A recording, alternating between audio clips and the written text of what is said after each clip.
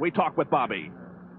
We have a new rule this year that allows the dashboard to only extend a certain amount, and the switch was too far for me to reach. I tried for it once, and then I saw I was going to have to hang on, so I just I hung on. Now, when I went through the wall, uh, the car continued to go, and the engine continued to run. I said, "Well, I got to get it shut off." So when I got on the other side of the wall, I did get it shut off, and uh, you know, fortunately, uh, no one was in the way down there, and uh, it did a lot of damage to the car. But uh, this is one thing that I feel real good about with these guys that uh, uh, they feel like that. Uh, certainly, they're going to work hard tonight, but uh, nothing's too much.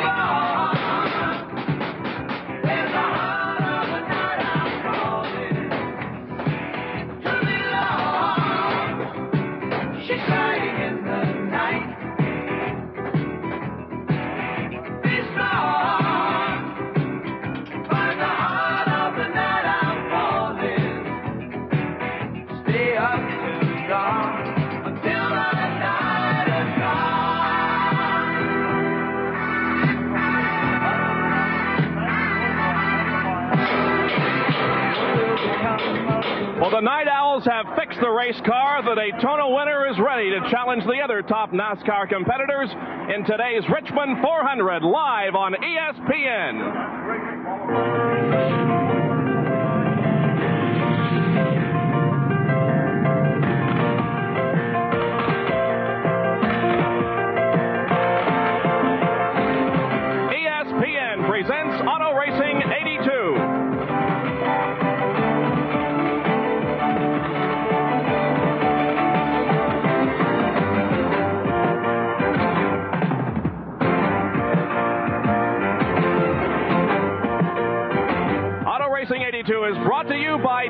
Datsun, who invite you to see all the exciting Datsun cars and trucks at your Datsun dealer today. And by Budweiser, for all you do, this Bud's for you.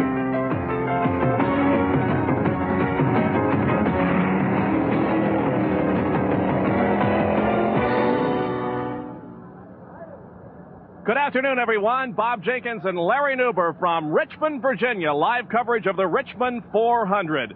What a difference a week makes. Last Sunday, beautiful, sunshiny, warm weather in Daytona. We have sunshine here today. It's a little cooler, though, and a lot different type racing. In Daytona, high speeds in excess of 200 miles an hour on two and a half mile tri-oval. Today, we're on a half mile track. It's relatively flat, relatively narrow, but we still expect great racing, Larry. Well, Bob, at first glance, this may appear to be a bit mundane after all the hullabaloo of Daytona, but a second glance at all the superstar teams that have entered here today and the thousands of people who have gathered here, you understand that every race on the NASCAR schedule has become a spectacle, and short track racing is tough. It takes a lot of muscle to absorb all the banging that goes on for both car and driver on a short racetrack. Leandra Riley is covering the pit area for us today. There are several stories outside of the racetrack. One of them concerns Bobby Allison. Here is Leandra. Bobby Allison, the man who knows the long and short of all these racetracks. You put the car together last night. What was the biggest problem, Bobby? Well, we were missing some of the steering parts. Uh, the steering parts all got torn up pretty bad in the crash, and uh, we had everything except the center linkage. And uh, it's got some special work done to it. So when they quit last night, we didn't have one, but they were able to round up the stuff they needed. They borrowed some stuff from uh, the uh, 47 team and a couple other teams, and uh, we got it going. All right, looks like I have to head out of here. We're ready to start our engines. All right, as we look at the racer's prayer, we will take this break and be back with live lap by lap coverage of the Richmond 400.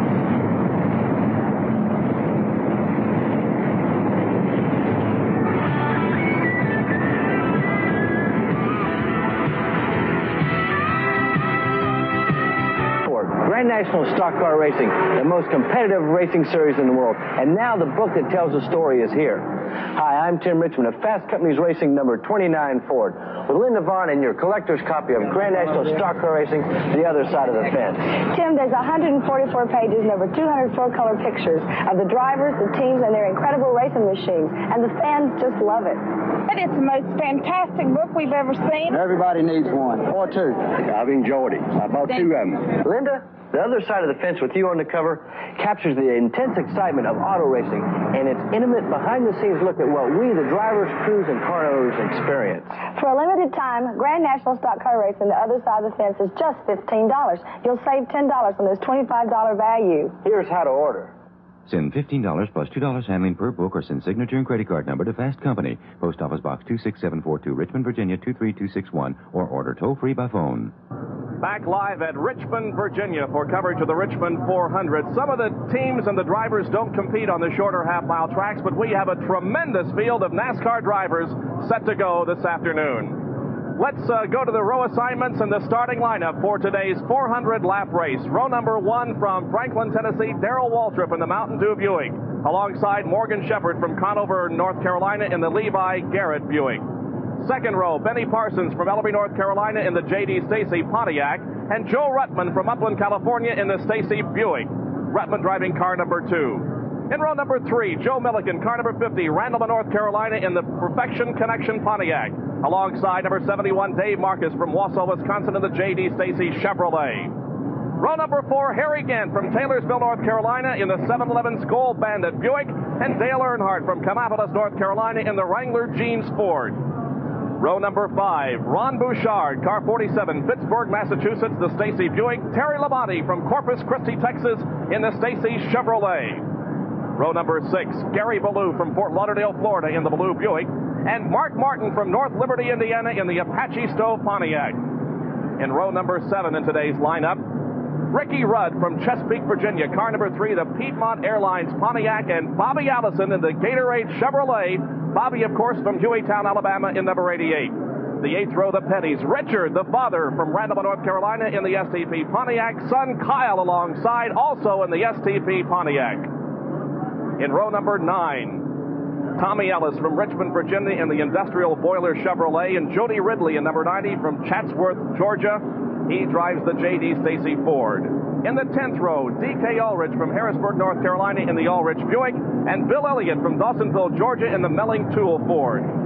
Row number 11, Neil Bonnett from Hueytown, Alabama in the National Engineering Ford, car 21. Lake Speed number 17, Lake from Jackson, Mississippi in the Kings Inn Buick. 12th row, Buddy Arrington from Martinsville, Virginia in the Arrington Dodge, car 67. Bob Schacht from Lombard, Illinois, car number 97, the Test Tube Oldsmobile. The 13th row, Tom Sneva, car 37. Tom now living in Paradise Valley, Arizona in the Simonized Buick. And Slick Johnson from Florence, South Carolina in the Palatine Parts Pontiac. The 14th row, J.D. McDuffie from Sanford, North Carolina in the McDuffie Pontiac. And Joe Fields in car number 92. Joe from Rockville, Virginia in the Richmond Printing Buick. Row number 15, Tommy Houston from Hickory, North Carolina in the Midlothian Texaco Buick, and Lennie Pond from Chester, Virginia in the Washington Freightliner Ford. And in the 16th row, Tommy Gale in car number 64 from Elizabeth, Pennsylvania in the Sunny King Ford, and Jimmy Means from Forest City, North Carolina in the Broadway Motors Chevrolet. Well, Bob, one of the stories behind the scenes this week was the pilot behind the wheel of car number 75, racing move from the sports page to the front page. One of the most famous and concurrently infamous short track drivers, Gary Balough, was indicted in an alleged Miami based drug smuggling ring, but he is here this week and he is ready to go racing. And we could get a green flag this time around. Again, this is a 200 mile race, 400 laps on this one half mile track. The pace car pulls off of the racetrack. Darrell Waltrip and Morgan Shepherd lead the cars down the straightaway looking for that green flag from Harold Kinder, and the green flag is out. The Richmond 400 is underway. The cars race through turns one and two. Everybody gets through safely, it looks like, on the backstretch. Morgan Shepherd has pulled out ahead of Darrell Waltrip as they head for turns three and four. Shepherd now pulling out from about a car length lead on Waltrip. Here they are completing lap number one. Morgan Shepherd is your leader. Darrell Waltrip running in second position. Benny Parsons is third. Joe Ruttman in fourth. And Joe Millikan running in fifth position. We have a problem down in turn number one. Gary Balough is spinning on the infield and apparently is going to keep that car running if he is able to. We will see no yellow, and Balough apparently does keep the car going, pulls back onto the racetrack, and gets up to speed once again. Here is the completion of lap number two with Morgan Shepherd still in the lead, Darrell Waltrip second, Parsons third, and fourth is Joe Ruttman. Harry Gant in car number 33 came into the pit area. I don't think he stopped, did he, Larry? He did not. He came through the pit area and made some type of gesture to the crew and went right back out onto the racetrack. Meanwhile, Morgan Shepherd, who is one of the best on a short track, has taken over the lead. Bob, one other comment. I'm sure on the television screen our viewers at home can see there appears to be a lot of dust or smoke in the air. That's dust. It rained heavily here overnight. And because of all the traffic going from the outside of the racetrack to the inside, a lot of mud was brought onto the racing surface. There was a high amount of dust in the early stages of this race, and I believe it might have contributed to Balough's spin. Morgan Shepherd and the Levi Garrett Buick is leading the Richmond 400 with four laps completed. Morgan Shepherd, car number 98. There is Morgan. He is the current leader of this race, has led uh, since the cars got down into turn number one. Here he is on the main straightaway, completing lap number five. Darrell Waltrip continues to run in second position with Benny Parsons tucked right in behind Darrell Waltrip and Joe Ruttman running in fourth position right behind Benny Parsons. So the two cars now that we will begin to watch are Harry Gant, who came into the pit area momentarily, and Gary Balough, who spun. They'll be trying to work their way up through traffic. Here is the battle for second position on the racetrack. Waltrip in the number 11 Mountain Dew Buick, followed by the number 28 car of Benny Parsons, the Stacy Pontiac, and then running right behind him is the number two Buick of Joe Ruttman from Upland, California. The situation here in the pits for Harry Gant, car number 33. They're. They have no idea why he shot through the pits. They think maybe he thought they were under the caution when the loop spun out, but they don't know why. They're trying to establish on the radio. Well, an interesting development there. The, even the crew does not know why Harry Gant made that very quick trip into the pit area, but then continued in the race. Good battle for second place here. The cars continue to run in the same order, but it's good nose to tail racing as Morgan Shepherd has opened up about a seven or eight car length lead on Darrell Waltrip in the number 11 Mountain Dew car and the number 28 belonging to Benny Parsons. Here is Joe Millikan in number 50 battling with Dave Marcis. This is the battle for fifth and sixth position. Joe Millikan in the number 50 car. That is the Pontiac, the Performance Connection car, battling with the Chevrolet belonging to Dave Marcis. Well, Millikan, of course, is a guy who ran a lot of laps on, and Marcis gets underneath Millikan. Millikan slips up a little bit, turns through turns one and two. He goes high going down the backstretch. You see Millikan oh, they come together in turn number three. A spin in turn number three involving the cars that we were watching. Dave Marcis and Joe Millikan. Millikan came out on the short end of that little deal because the car got sideways on him and he lost a few positions and the yellow has come out. So we are under our first caution of the afternoon with that spin involving Joe Millikan in car number 50 and Dave Marcis in 71. Well, let's find out more about that situation concerning Harry Gant as we go down to the Skoal Pit. And here once again is Leandra Riley as she is making her way to that area and trying to track down the information no, concerning no. the problem with Harry Gant. Again, she reported to us a little bit earlier that uh, even the crew did not know why Harry Gant made the quick trip into the pit area. Well, Bob, we saw a lot of that similar type of action in a race here earlier this week on this racetrack. It is a tight racetrack for these big Grand National cars. We're going to take another look at it coming into turn number three. The, the incident has already developed. As you can see, Millikan is sideways directly in front of Marcis. Marcis had nowhere to go, at least at that point in the incident as it had developed. But what happens at this racetrack, when you are on the outside, more often than not, you probably have to give way to the guy on the inside, even though you might be a half a car length ahead, because the racing lane is very narrow. And once you step over that thin line, particularly at speeds approaching about 120 to 30 miles an hour entering the turns here, it's real difficult to negotiate through these tight corners. Here is the 10 lap rundown. The cars come down to complete lap number 12. The leader, Morgan Shepherd, in second position, Darrell Waltrip. Third is Benny Parsons. Fourth, Joe Ruttman. In fifth position is Ron Bouchard, running in sixth, Dave Marcis. Seventh is Richard Petty. Running in eighth position is Dale Earnhardt. Ninth is Terry Labonte. And tenth is Ricky Rudd. We will be back with more coverage of the Richmond 400. We're under yellow right now. We'll be back for a restart after this. The Levi Garrett Buick, uh, Morgan Shepherd continues to hold the lead as we have completed 18 laps of the Richmond 400. The battle continues for second position among several drivers, including Darrell Waltrip, Benny Parsons, Joe Ruttman, and Ron Bouchard. While we were away, the green, of course, came out, and Kyle Petty got sideways down in turn number one, and some parts flew off of that car as we have uh, our second yellow of the afternoon coming out for some unknown reason. We don't see anything on the racetrack, but uh, perhaps some uh, parts on the racetrack or something that is causing this yellow. As we were indicating, Kyle Petty did uh, get sideways at least down in turn number one, and parts did come off of that car. I think perhaps at least one car hit that debris, and perhaps that is the reason for the yellow at this time. We have our first interesting caution, and Darrell Waltrip, the driver running in second place and one of the pre-race favorites, is pitting under this early caution flag. There you see Waltrip in the Mountain Dew car rolling to a stop along pitway. Bob, we noticed he was beginning to run a little loose on the racetrack. The car was washing out of the racing lane, particularly as he exited turns two and four, and Benny Parsons was threatening, was actually underneath Darrell as they came down to complete the last green flag lap. Well, it looks like that Darrell is not taking, uh, well, he is being held up, of course, by the pit officials as the field passes by so that he cannot gain a lap. He's being held and will have to fall in at the rear of the uh, field. So Darrell Waltrip hits early here in the Richmond 400, apparently because of some handling problems that he was having.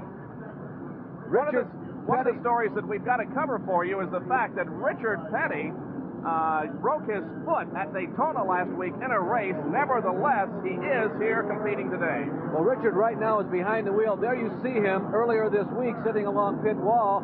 He was hobbling around here on crutches all week. There is a cast on that foot.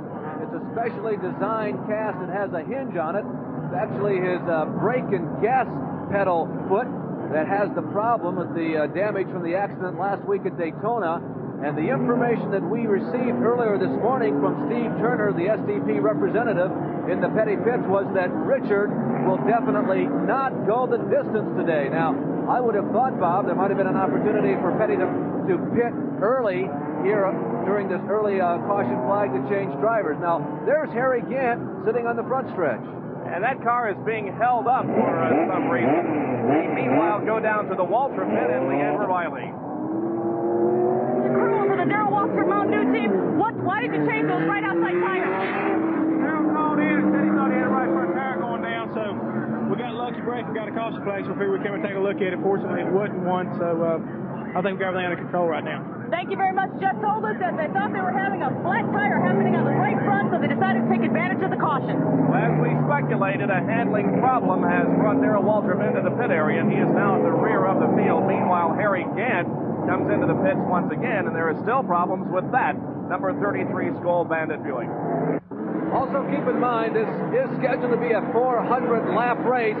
You see Shepherd continuing the lead. There is the battle back in the seventh and eighth positions between Dale Earnhardt and the number 44 car of Terry Labonte. Now, this is an important season for both of those young drivers. Earnhardt, of course, the national champion from two years ago, was shut out last year as far as wins go. He did win earlier this year at Daytona already, but he's still looking for that next Grand National win. For Labonte, he also won a couple of years ago. Both of these guys, two of the younger Chargers on the trail, they both really need to have good seasons to more or less keep their careers on track. There is good racing all over this track. Also, uh, battles up front, but this one involving Dale Earnhardt and Terry Labonte. The best at this time was Labonte is trying to get around Dale Earnhardt, as Larry indicated, the 1979 Rookie of the Year, and then a former national champion also in the Grand National Racing. Good battle for the lead here, actually, with uh, Benny Parsons right on the back bumper of Morgan Shepherd as the cars start into turn number one. We have completed 29 laps of the 400 that make up the Richmond 400 here in Richmond, Virginia at the State Fairgrounds. Benny Parsons running in second position. Here is Dave Marcis battling with Ron Bouchard, and Dave Marcis now moves into fourth position. Dave Marcis, the number 71 Stacy Chevrolet, able to pass Ron Bouchard in also a Stacy prepared car. His is a Buick. Ron Bouchard, of course, from Fitchburg, Massachusetts, outside of the Deep South, being passed by Dave Marcis in car number 71. And up front, Benny Parsons has worked his way to the inside of Morgan Shepherd. Here they come down the front stretch. Parsons leads that lap. You saw the nose ahead at the start finish line, and Benny Parsons slips underneath. Benny Parsons will be scored as the leader on lap number 31 as his car was about a half a car length ahead of Morgan Shepherd as they came down to the start finish line. A new leader in this race, the second of the afternoon, Benny Parsons in the number 28 JD Stacy Pontiac. Running second, Morgan Shepherd, and third, hanging right in there, is Joe Ruttman in the number two, Stacy Buick. We had talked earlier several times, as a matter of fact, of Harry Gant, who has made a couple of pit stops here in the early going. He was held up at the starting line. We should point out that he was held up simply because he would gain a lap if he were not held up. So he has not lost a lap. He is on the same lap as the leaders, and now Harry Gant trying to move up through traffic. Well, Shepherd, who was the obvious superior machine in the first 10 laps of this race, appears to be slowing down just a bit in comparison to the other front runners. Benny Parsons, as you can see there on your screen, has gotten by, and Joe Ruttman is really putting the pressure on the back bumper of Morgan Shepherd. Ruttman, of course, the driver who now makes his home in California, originally from the Detroit, Michigan area. He's a guy who, for the first 10 years of his career, ran on a track pretty similar to this just about every week. So Joe Ruttman, though he is new to Grand National stock car racing, is very much at home on a short or half mile, relatively flat racetrack. Well, let's go down the standings at the end of 30 laps, and we have completed 34. The leader, Benny Parsons, second position, involving the number 98 of Morgan Shepherd. We have a spin up in turn number three involving a couple of cars. Tom Sneva is involved in number 37, and again, Gary Balough in the number 75 car. Balough, with a problem earlier, has also spun again here in turn number three, but apparently Balough, as was the case a while ago, will be able to keep going, although we have brought out the third caution of the afternoon. Well, it has been indeed a long week for Gary Balough. He comes across the start finish line with smoke pouring from the left front of the race car. What happens usually in an incident like that when a couple of cars touch. And you see Balough very unhappy apparently with Tom Sneva as Balough pulled up behind Tom as they came out of turn number two. Balough is heading for the pit area to uh, pull that bodywork away from the left front. Gary Balough apparently very displeased about that incident that took place one lap ago. Balough comes into the pit. Sneva is right behind him. They are pitting at opposite ends of the pit area here, and many other front-running cars are also using this opportunity to come in. While we watch, Gary Balough will tell you some of the other drivers into the pit. Ron Bouchard is in, so is Ricky Rudd. Darrell Waltrip in for a second time. Bobby Allison is pitting. Jody Ridley is pitting, and so is Neil Bonnett along with a couple of others. So busy pit road here on the uh, 37th lap as we go down to Leandra Riley.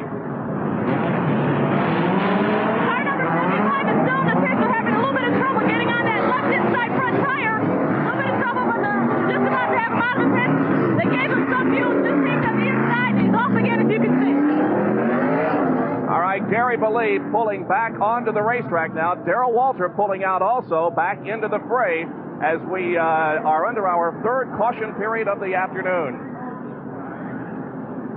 So Benny Parsons has the lead with Morgan Shepherd running in second position as we continue our coverage.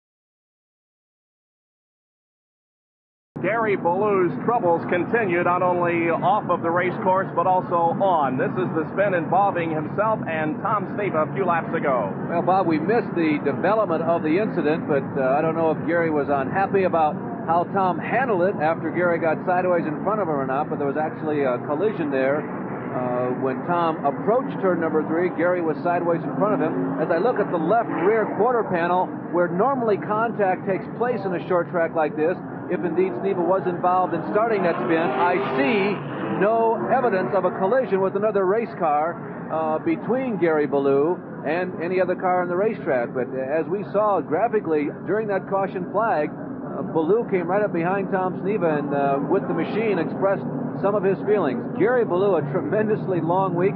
He was spectacular at Daytona uh, last week, not only in the 500 but also in the sportsman race.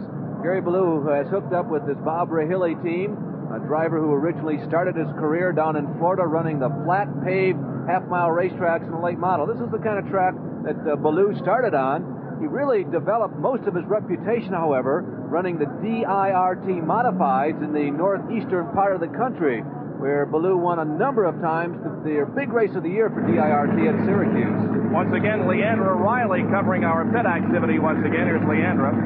Bob Rahilly and his crew are taking advantage of the black flag on Gary Balough. The reason he is in here, they said he passed somebody under the caution. Now, that is in the confusion of the pit that we are hearing this story. They are holding him back one lap. They felt that he passed somebody under the caution, which is something you are not allowed to do. As Gary Balough waits in the pit area, the green comes out once again, and we are back to racing at the conclusion of lap number 41. Benny Parsons continues to lead with Morgan Shepherd running in second position, Joe Ruttman in third, and Dave Marcis running in fourth position. Richard Petty has moved up to fifth. So Petty, who started in 15th is doing a fine job moving up through traffic here in the early going of this race, now running fifth. So apparently, that broken foot is giving him no particular problem. Harry Gant is moving up through traffic as he made an early pit stop. Well, Harry now runs in the 11th position. He actually started scratching this race. He was the first guy to come into the pit area. He thought there was going to be a caution, or at least that's our guess when Gary Balough spun out the first time. Again, went all the way to the back. He was also held up by NASCAR's officials here in the front stretch at one point. We believe they reprimanded him for darting through the pit area too quickly. But Harry has really moved up to the field. He's passed about 20 competitors in a combination of the last 15 green and yellow flags, and he continues to move to the front. Harry Gant, of course, was the bridesmaid on several occasions last year in Winston Cup Grand National Racing. He finished in second position several times, never won a race. He hopes this year his luck can turn around. Harry Gant, 42 years old from Taylorsville, North Carolina, driving the Skoal Bandit 711 Buick, car number 33. Of course, that's also the Hollywood team that's co-owned by Hal Needham and Burt Reynolds. And they are a team that have really supported Grand National Racing since they burst on the scene a year ago. And I think the nicest part about that team, and there's Gant trying to pick up a couple of more positions. Harry is really charging to the front.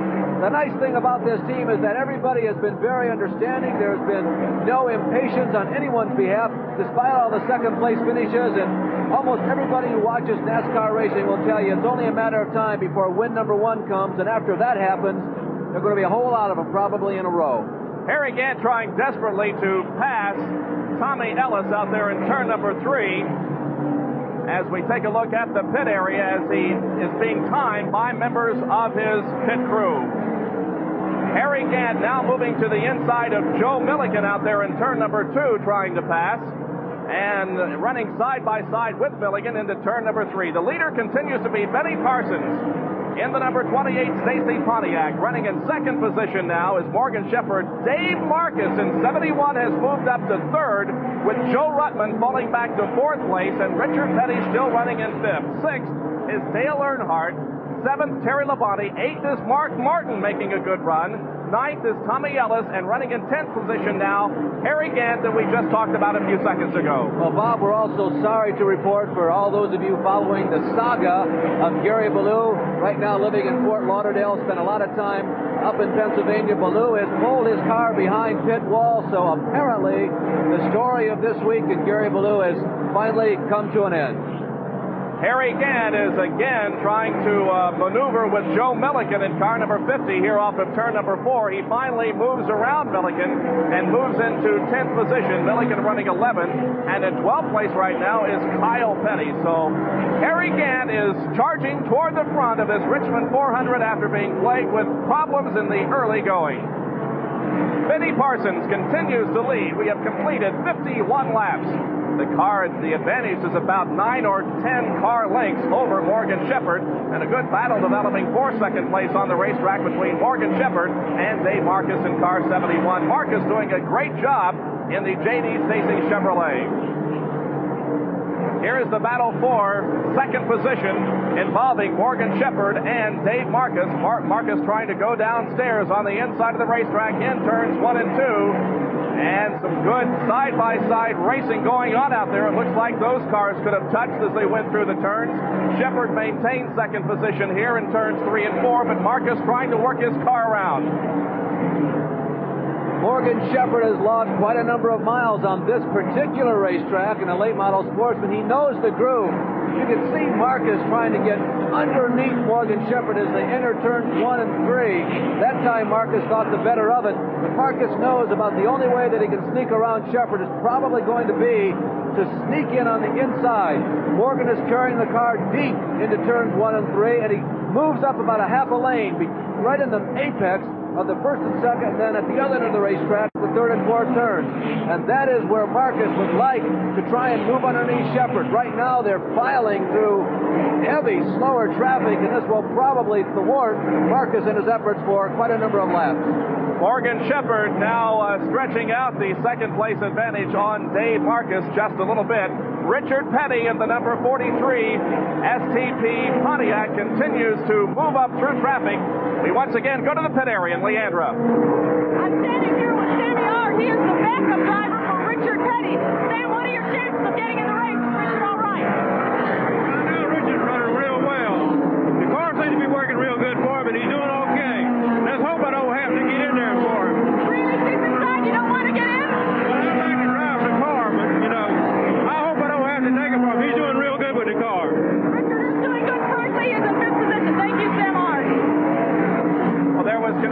Speculation that Richard Petty would pull into the pit area in the early going under a caution situation and exchange positions with Sam R, but we have seen no evidence whatsoever of that as Petty continues to move up, now running in fifth place. The leader continues to be this car, Benny Parsons, the J.D. Stacy Pontiac. Stacy brought seven cars to Daytona International Raceway, got all seven of them in the race. Today, six are here in the Richmond 400, the only one not competing driven by J.D. Souter. Well, Benny Parsons, the current leader in this race, was one of the winners at this racetrack during the 1981 season. Matter of fact, he was the most recent winner here. He won the fall race. The defending race winner is Darrell Waltrip, who sat on the pole here today and had to make that early pit stop and lost a lot of ground. Benny Parsons is probably the most famous graduate of an organization that races out of the city of Toledo, Ohio, called ARCA. He was ARCA's champion for quite a number of years in a row, and those of you up in that area probably remember the bright yellow number 98 that Benny Parsons drove to so many victories on the ARCA Trail when John Marcum was still the main man in ARCA racing.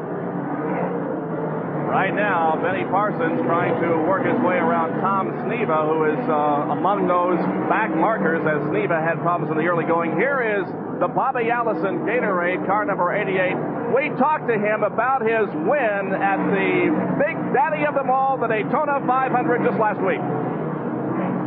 Well, I was really pleased with the whole performance of the, the DiGard Gatorade crew, the, the car, everything last week, and uh, it was one of those things. If you could plan it, it you wouldn't plan it any differently. Uh, it's such a great feeling to go to Daytona and to run good, and then to win the Busch Clash and to win the 500. I think uh, might have exceeded our greatest expectations. Bobby Allison is running in about 12th position at this time in the number 88 Gatorade car. Working on uh, Tommy Ellis right now. The number 12 Ellis right ahead of Bobby Allison. Bob, you know, that is really an amazing story. This crew worked all night on this race car, and it's just incredible that he's even able to be competitive. The crew chief on the car, Gary Nelson, who did a tremendous job rebuilding this car overnight. Here is Leandra. Gary, how is the car performing so far? Well, it started off just a little bit loose. We made an adjustment on last pit stop. Bobby told me it helped, and we need to make it a little bit. One more adjustment, I think will be a lot better. Thank you very much. Go down the standings at the end of 60 laps. We have completed 64 as we watch the Bobby Allison automobile. The leader, Benny Parsons, second place belongs to Morgan Shepherd. Third is Dave Marcis. Fourth is Joe Ruttman. Running in fifth position is Richard Petty. In sixth, Dale Earnhardt. Seventh is Terry Labonte. Eighth is Mark Martin. Ninth position belongs to Harry Gant. In tenth position is Tommy Ellis. And in 11th place is the number 88 of Bobby Allison. The leader, Benny Parsons, car number 28, putting a lap on Buddy Arrington at number 67, Arrington Dodge. Well, Buddy is one of those guys who has remained very, very loyal to the Chrysler Motor Corporation. That's a Dodge, and Buddy had the only Chrysler product also in the Daytona 500 a week ago. 66 laps are completed. Benny Parsons, the leader right now in Richmond, will be back with more coverage in a minute on ESPN. Bob Jenkins, Larry Nuber, and Leandra Riley back at the Richmond 400 Grand National Stock Car Race where Benny Parsons has the lead with 70 laps completed. Running in second position at this time is Morgan Shepherd. In third, Dave Marcis. And in fourth position is Joe Ruttman, running fifth, continuing to be Richard Petty as Benny Parsons moved to the inside of Jody Ridley there in turn number four and making a pass on that car. Now down into turn number one. Parsons continuing to run smoothly in that car. He is the second leader of the afternoon. Morgan Shepherd led the first few laps. Then Parsons took over the lead and has held it ever since. Well, Benny has won 20 races overall in his NASCAR career, and a lot of those races have come on tracks exactly like this. He seems to be able to pick up three or four wins on a consistent basis every year. He was very enthusiastic and very optimistic about landing this ride in the Harry Ranier Racing Stable this year. Waddell Wilson, one of the established fastest mechanics in all of NASCAR, and they hope for not only continued success in the short tracks, they know Benny is certainly capable of that, but maybe with a little improvement on the super speedways, this guy could well be one of the main threats for the season-long championship. Benny Parsons, and he certainly showed us he can go fast in the super speedways. He sat on the pole at Daytona.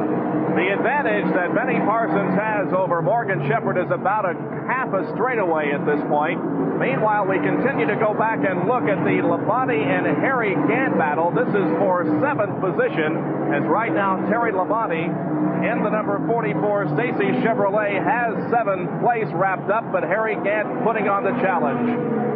Terry Labonte has won $753,453 on the Winston Cup Trail in his career. Corpus Christi, Texas is the hometown for this young man. He's 25 years of age. Well, that gives you an idea of all the dollars that are now available in NASCAR competition. Labonte with just that one career win. In the 1981 season, more than 20 drivers won over $100,000. That is the most prolific earnings in a single season by any division in automobile racing. More than 20 drivers over $100,000 a year ago. There you see Benny Parsons putting a lap on a young man who did very well at Daytona, Kyle Petty. Obviously, they don't have the right combination here at Richmond today. So Benny Parsons in turn number three has completed 76 laps, about to complete 77 out of 400 that will make up this uh, this race. Ricky Rudd has been in the pit area several times. He's out on the racetrack right now. Let's find out what the problem is in the pit area. Evidently, Ricky Rudd was involved with a little fender bending, and his front end was pulled out of alignment. They had to replace the right front ball joint. That's the story then on Ricky Rudd, as apparently he has the problem solved because you can see him moving around several of the slower cars on the racetrack. So Rudd trying to work his way back up into contention in the Piedmont Airlines Pontiac. Second place battle is a good one. It involves Morgan Shepherd in the 98 and Dave Marcis in 71. Well, Bob, the last lap around, Marcis had inched his way up to the inside of Morgan Shepherd. It took him about 20 laps to get himself positioned there.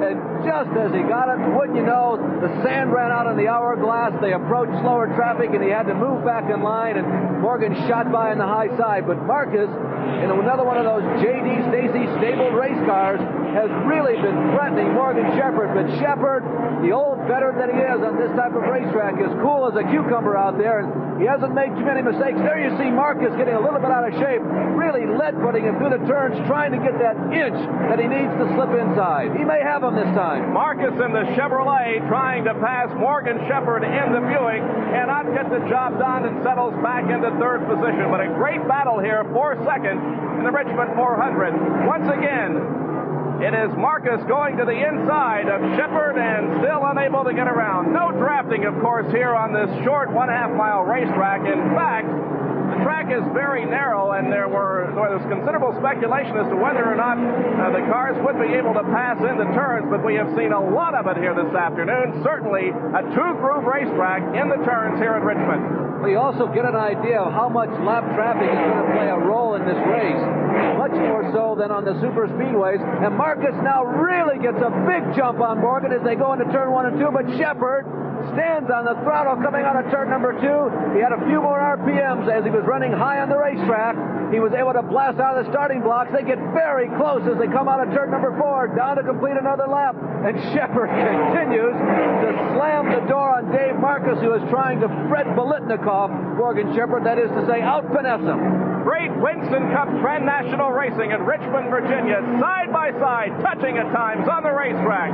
Morgan Shepherd and Dave Marcis going at it tooth and nail. Look at this to the inside. It is Dave Marcis pulling side by side with Morgan Shepherd, but he just cannot pull off a clean pass as Shepherd is able to out accelerate him most of the time.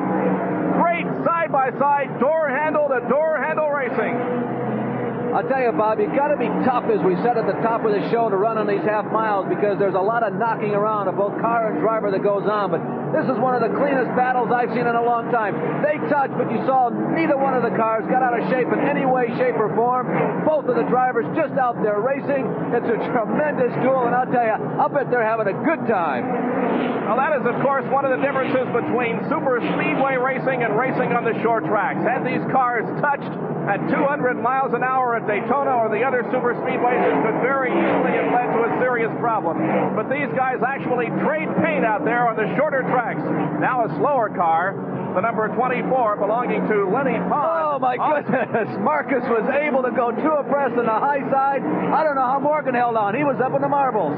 Still, they're side by side as they continue to battle for second position. We'll stay with this battle. We remind you once again that the leader of this race is Benny Parsons, but he's continuing to stretch out the advantage on these two drivers who are concerning themselves with battling each other and getting in a second. Look at this again, three abreast out of turn number two, and this time Dave Marcis is able to pass by Morgan Shepherd and move into second position. Boy, I'll tell you, there was just no way that Marcis, who is currently in his 15th season on the Winston Cup Trail, was going to give up this time when he had that advantage. Lap traffic had shut the door on him before, but Marcis, who is one of NASCAR's $1 million plus winners, he's won $1.2 million in his career, four wins, and at one point, he was the hot shoe in NASCAR racing he was hooked up with Harry Hyde in the K&K Dodge insurance machine. They won a lot of races and a lot of money, and boy, were they fast. Well, Dave Marcis does have a win here at Richmond. Richard Petty has won 13 times at this racetrack, not necessarily this race. There are two races held each year here at Richmond. Bobby Allison and Darrell Waltrip have both won four races here. Benny Parsons has won two, Cale Yarborough three, Dave Marcis, James Hylton, and Neil Bonnett have each won one race. As a matter of fact, Neil Bonnett won his very first Grand National race here at Richmond, Virginia. We have a report from timing and scoring that Tom Sneva in the white red trim number 37 race car, the Rogers leasing machine that Sneva has moved into this year for the first time, has been given the black flag. Now, you'll recall that Sneva was involved in one of the Gary Balough incidents, so perhaps NASCAR has spied something that is just not perfect with that machine. Darrell Waltrip was in the pit area a couple of times in the early going, but he has moved back up into speed and is now running in eighth position. So Darrell Waltrip moved from the rear of the field up to eight at this point. So Waltrip with the Mountain Dew Buick doing a great job out there. Darrell hailing from Franklin, Tennessee, is 35 years old and is the defending Winston Cup champion. Yeah, and he just escaped from a very interesting battle between himself and Mark make that uh, Harry Gant and Terry Labonte. Both Gant and Labonte have been running well, They've been running consistently. They've also been on the racetrack with Bobby Allison. And Waltrip worked his way through all three of those drivers, Gant, Labonte, and Allison. So Darrell really is hooked up here uh, as we approach the 90 lap point in this race, and Waltrip looks like he may be moving to the front. He does remain on the lead lap with the leader, who once again is Benny Parsons. There's Waltrip, the defending Winston Cup champion. Here is the rundown at 90 laps. Benny Parsons, the leader. Dave Marcis, second. Morgan Shepherd is third. Fourth position belongs to Joe Ruttman. In fifth is Richard Petty. Sixth, Dale Earnhardt. Seventh is Darrell Waltrip. Eighth is Bobby Allison. In ninth position, Terry Labonte. Tenth is Harry Gant. Eleventh is Mark Martin. In twelfth position is Tommy Ellis. Thirteenth is Neil Bonnett. And fourteenth belongs to Ron Bouchard. All of those cars on the lead lap. Leandra Riley is in the Tom Sneva pit where work continues in that area. Let's go to Leandra. Tom Sneva is in the pit because he has transmission trouble. And he was thinking on the track. That car pulled him in, direction as to how to stop it. They're keeping you awfully long. You can also see the damage on the left side of that race car caused by the incident earlier with Gary Balough, but Tom Sneva pulls back into competition. Mark Martin in the number two Apache Stove Buick is continuing to move up well. He started uh, this race here this afternoon outside of row number six and is in the 11th position at this point. Mark Martin from North Liberty, Indiana. Well, Mark started his career down in Arkansas near Batesville running the dirt tracks, and he is probably most known for his exploits with ASA. Remember, a lot of those exploits and a lot of those victories came on half mile racetracks. Right behind Mark is Neil Bonnett.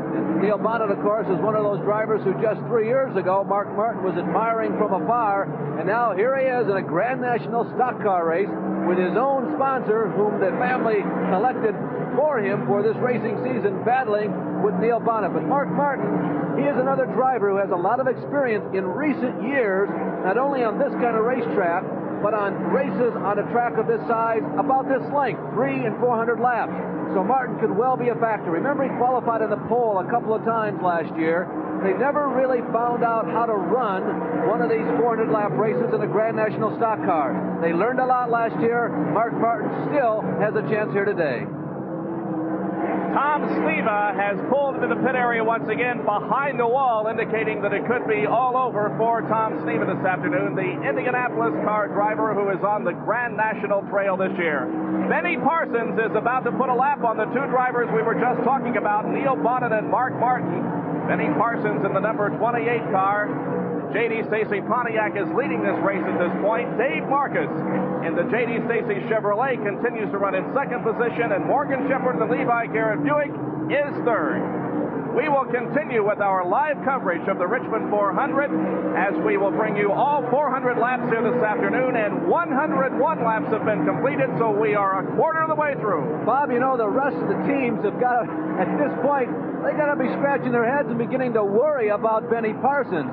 I tell you, he has looked super strong. We've noted that he's run and won on this racetrack before, and even though we're not even one quarter of the way through this race, he is now beginning to put a lap on the rest of the field that is running in the top 10. We have had three yellows when we have been under green for the past few laps, and we continue under green. We will take this break and be back with more from Richmond.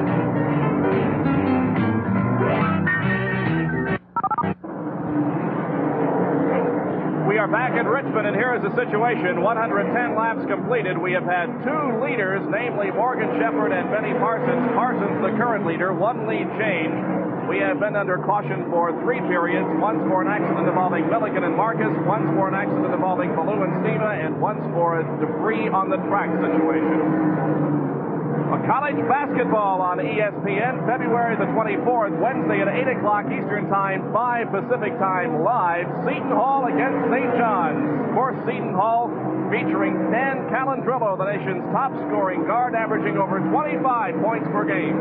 Well, not only that, but Seton Hall, of course, has taken a, a nosedive since losing three players to academic ineligibility, and I guess they're trying to make chicken soup out of chicken feathers. They're giving it a good shot, but it's going to be uphill the rest of the season for Seton Hall, and this will be a big game for them against St. John's. And of course, David Russell plays for St. John. He's their 6'6 junior forward, a superb leaper. Join us for the Seton Hall St. John's game Wednesday, February 24th, 8 o'clock Eastern, 5 Pacific Time. Once again, action in the pit area. Here's Leandra Riley. We're some of the transmission, it's leaking fluid under the right rear, smoking a little bit, it makes the car very, very low. So we're trying to get the, the lake out there.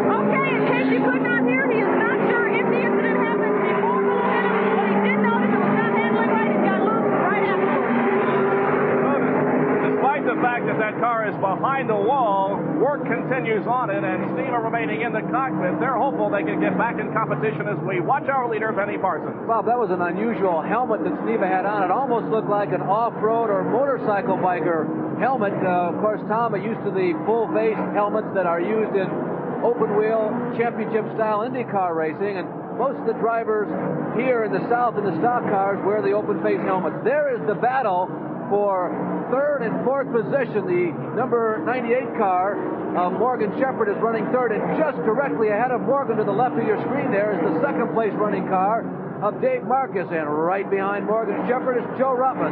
These guys have basically been together since Benny Parsons left them in his dust about 60 or 70 laps ago, and, and they're trying to work their way through slower traffic. And I'll tell you, Bob, if I had to make a guess, I really believe we get down to the short strokes in this race.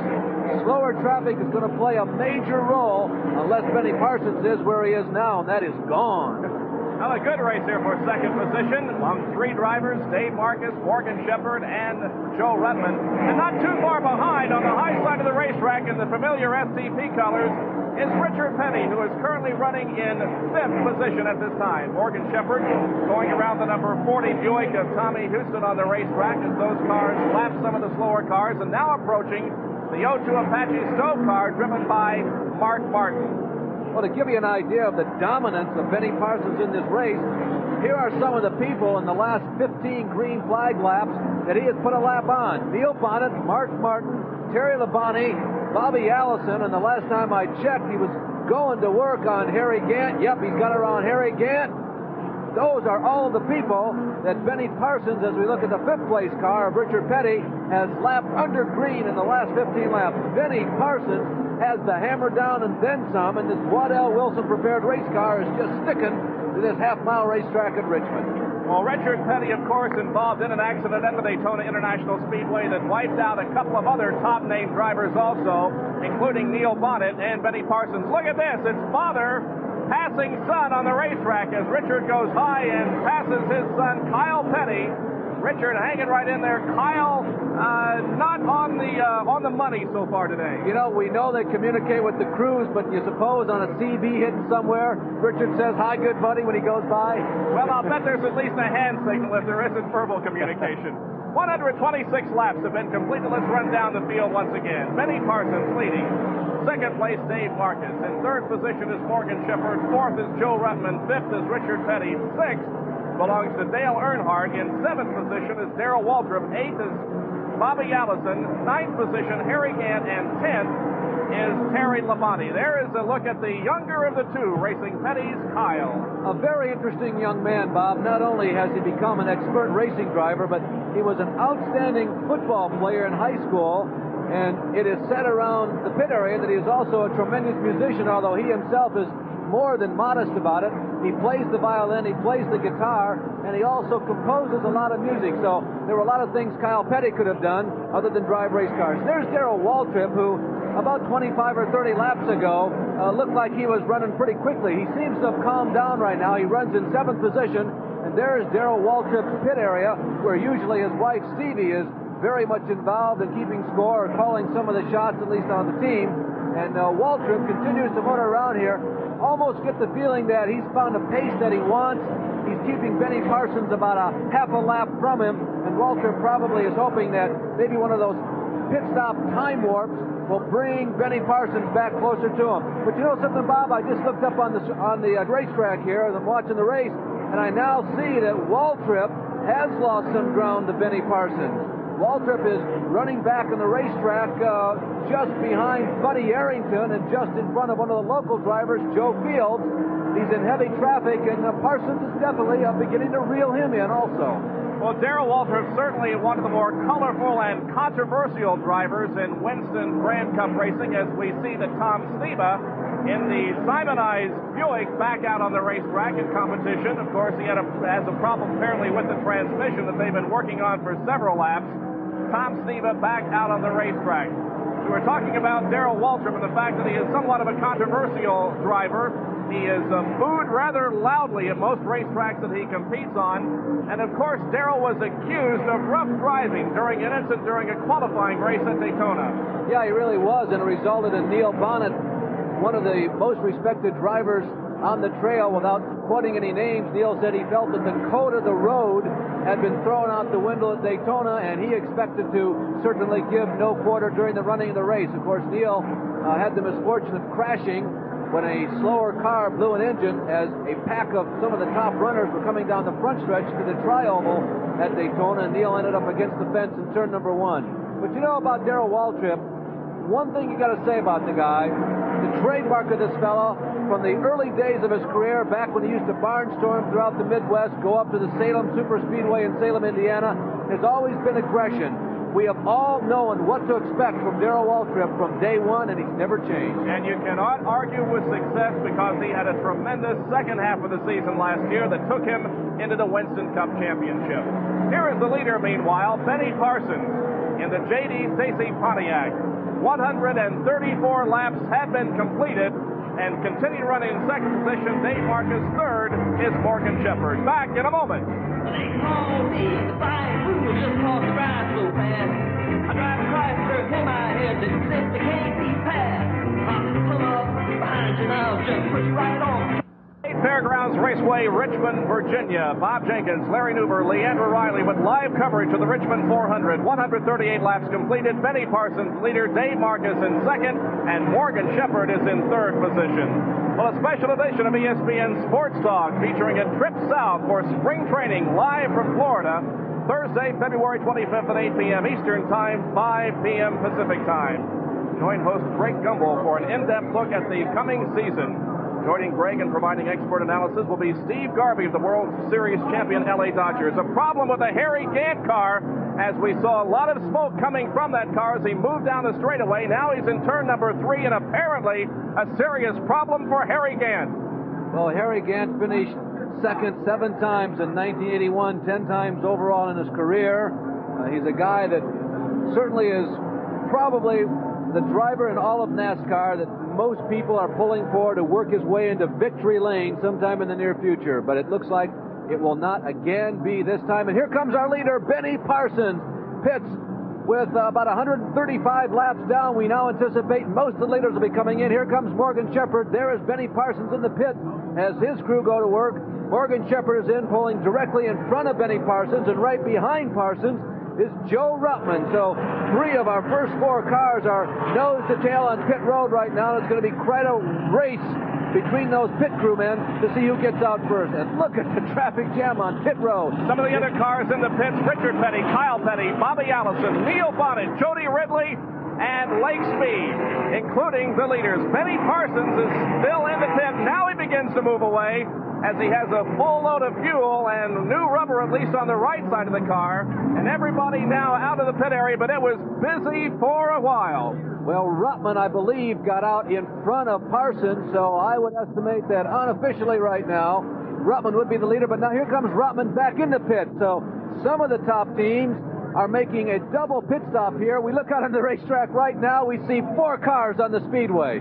Just right. four cars. The Wood brothers go to work on the Hodgson Neil Bonnett Thunderbird here in the pit area. They're now changing rubber on the left side of the car. The Wood brothers, of course, the best in the business, and we'll see how well they can do their job here. Well, of course, crew chief Leonard Wood calling all the shots.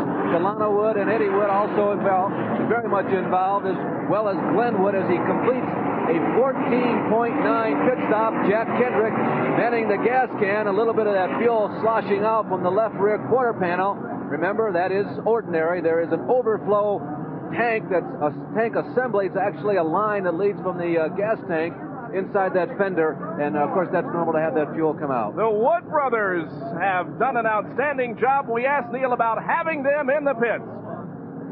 Well, I tell you what, fortunately enough, with the Wood brothers, I have one of the best pit crews in the in the world pitting that race car. And when we come to a track like this, they're a bigger asset here than they are at some of the other racetracks. Uh, the the critical thing is getting in and off in pit road and off without getting an accident on the track on the pit road itself. The service I get in there is going to be some of the best in racing. In turn, whenever we pit, I usually gain a little bit of distance on some of the other guys. So uh, at a track like this, the pit crew is very, very critical. And fortunately enough, I have some of the best people in there. And the more we pit, the further ahead I get ahead usually. So it's going to be a good, uh, good advantage for me, the people on pit road. Well, the track crews are out there sopping up some of the moisture that's spilled from the Harry Gant car, so we are going to be yellow for quite some time. The cars have been slowed behind the pace car. Almost everybody has made a pit stop, and so we are under yellow once again. Once again, the first three cars Benny Parsons, Dave Marcis, and Morgan Shepherd.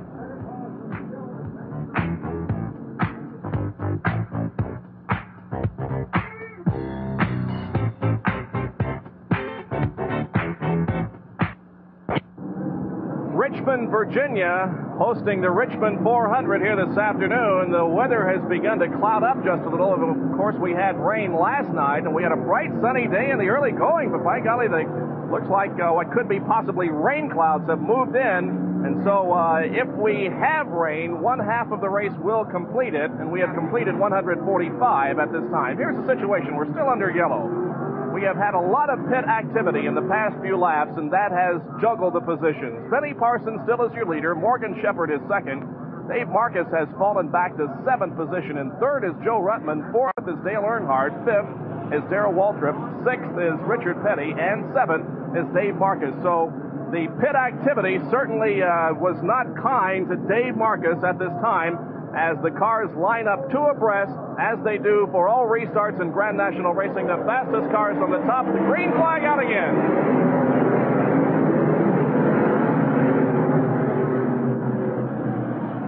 Into turn number two, it's Benny Parsons still edging out ahead of Morgan Shepherd in car number 98. But Shepherd, as has been demonstrated all afternoon, is not letting Parsons get too far ahead. And Bob, we're now looking at Bobby Allison. They had a chance to make another adjustment on this race car. Remember, this is the car that was demolished in practice late yesterday afternoon. This is a situation Allison was in similar at Talladega in an ESPN televised race last May. Allison will now try to get around Benny Parsons, thereby unlapping himself, and hope for another caution flag. If Allison can get around Benny Parsons, another caution flag comes out. He goes all the way around the racetrack. He can get back on the same lap. He'll still have a chance for winning. And look at Allison threatening Benny Parsons. They've been fine tuning this car. It started out audibly just on the radio when they came in for this pit stop under caution. It gave crew chief Gary Nelson and the rest of the DiGard racing team an opportunity to do some more work in the car. And I'll tell you, I think they helped him because Allison, right now, the miracle car of today, is unlapping himself. He can get by. He'll be on the same lap with Benny Parsons. And Joe Ruttman is trying to follow Allison through. If Joe goes through, unlike Bobby, Joe moves into the lead. Well, Joe Ruttman has come from nowhere to second and challenging for the lead. Allison sneaks by Benny Parsons, and so does Joe Ruttman. We have a new leader, ladies and gentlemen, the third leader of the afternoon.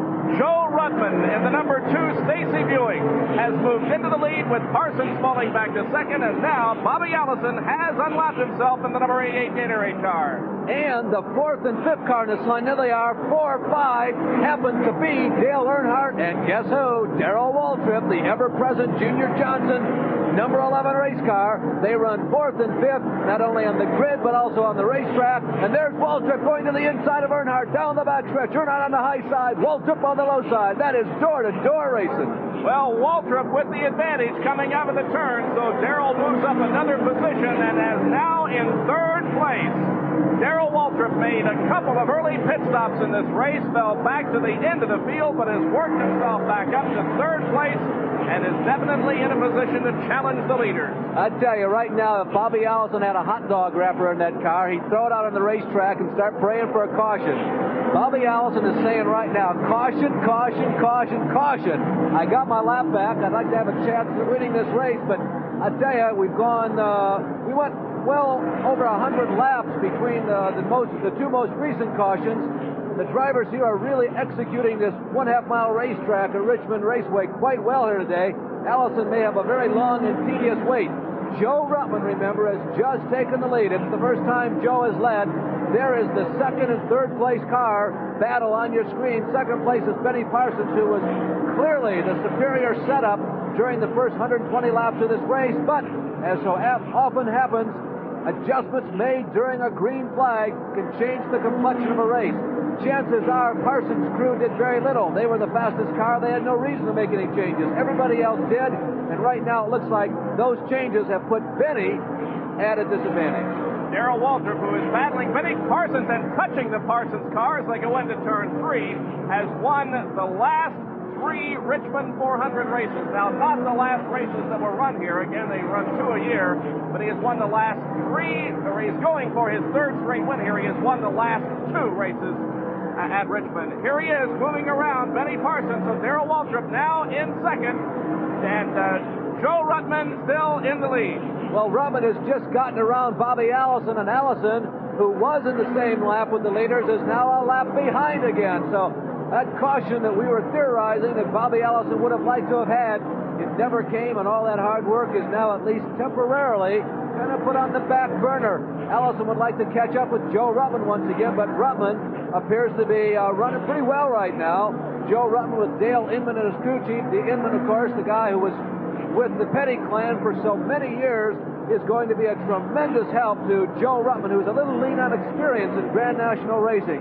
But I'll tell you, having Dale Inman in your pits is like having a driver who's raced for about 20 years on this circuit. Joe Ruttman, 37-year-old driver from Upland, California, is the leader of this event. Right behind him is Bobby Allison, but don't forget that Allison is a lap down. Second position belongs to the third car there on the line, Darrell Waltrip in the Mountain Dew Buick. We have had four caution periods, the most recent caused Harry Gant to fall out of the race. We have only three cars that have dropped out of this race Gary Balough, Tom Sneva, and Harry Gant. The leader continues to be Joe Ruttman at Richmond.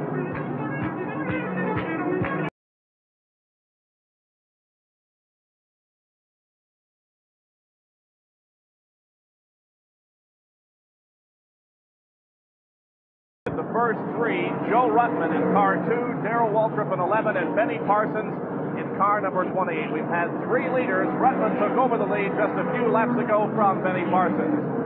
Dave Marcis and Dale Earnhardt battling here for fourth and fifth position right now. The Earnhardt machine, Wrangler Jeans Ford in that position, but Marcis in the Stacy Chevy has been doing a great job all day and is still up there in contention. He lost several positions during the uh, last most recent uh, series of pit stops. He was in second, dropped back to seventh, now has moved up again.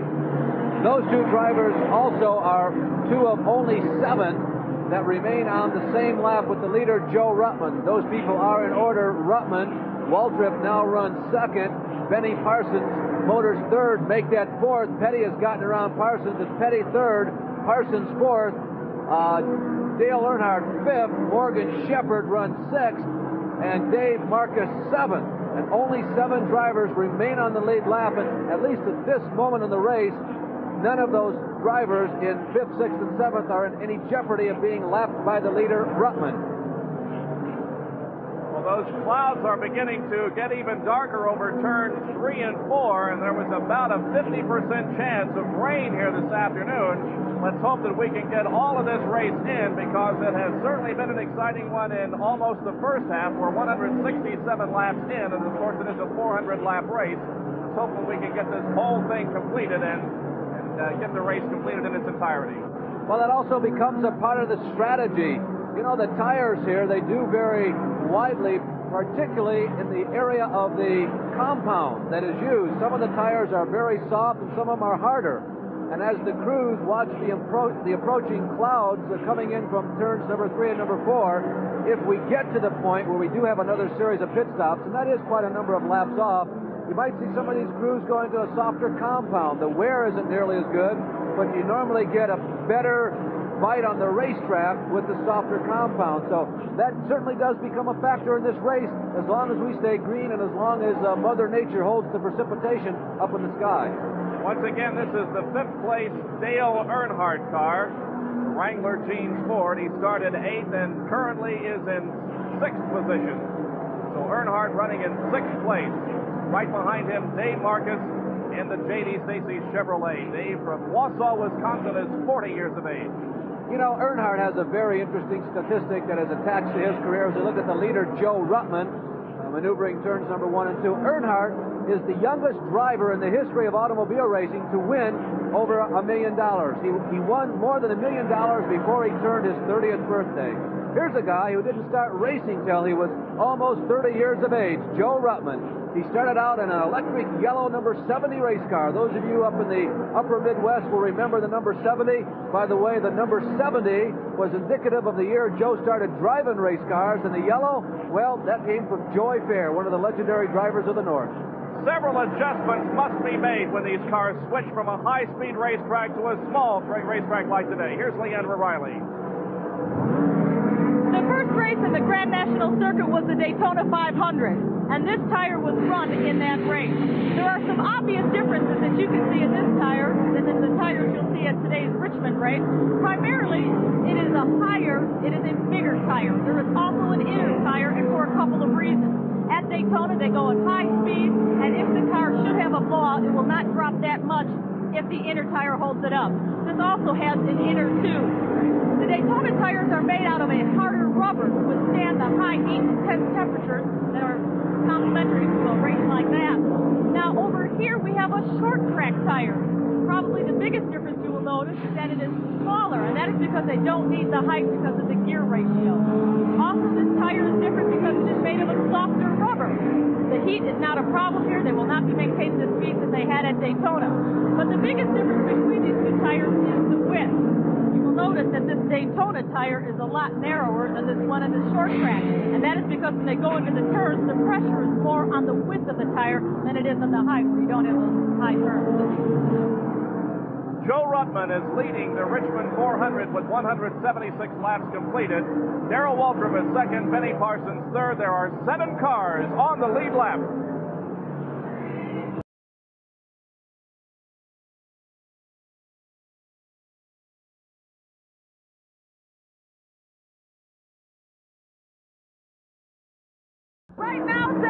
Is giving him some pain. You remember he broke it last week. He says that new cast is helping someone, but he still is in pain. As long as he stays up front, he wants to stay in the race, but if he starts drifting back, he will change drivers. Well, there's certainly no evidence of Petty's foot hurting him at this point because he is in third place at this time and has moved up well in the first half of this event. Well, Bob, you know, there's another factor on a short track like here at Richmond. You break every time you go into one of the corners, turns one and turn three. So the foot gets no rest. He is only in the straightaway about three or four seconds. So basically, every four or five seconds, Richard Petty is moving that very painful ankle and cast and tromping on the brake. You just have to brake every single time out.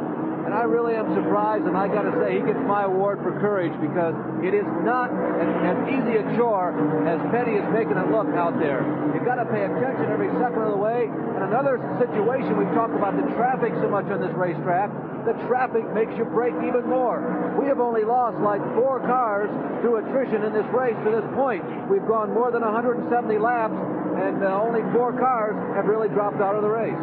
Richard, of course, a seven-time Daytona winner.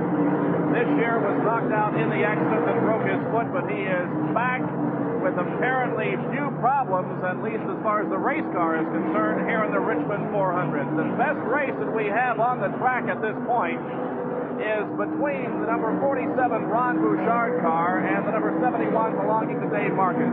Well, Bouchard is a lap down to the seven cars in the same lap. There you see Marcis getting underneath Bouchard. Bouchard running a little quicker than he was during the first segment of uh, green flags there. The name J.D. Stacy pops up twice again as they're side by side. And now they're uh, nose to trunk, so to speak, going down the backstretch. But Bouchard is one lap down. That's the blue and yellow car, the yellow car with the blue chevrons on. He runs in ninth position unofficially right now. And Marcis runs in sixth position, again, unofficially, but Marcis, the white number 71, that car is on the same lap with the leaders. There they go around the high side of Tommy Gale, the trucking executive from Pittsburgh, Pennsylvania, and Elmo Langley's car, the Sunny King Honda Ford Special. Dave Marcis remains on the lead lap.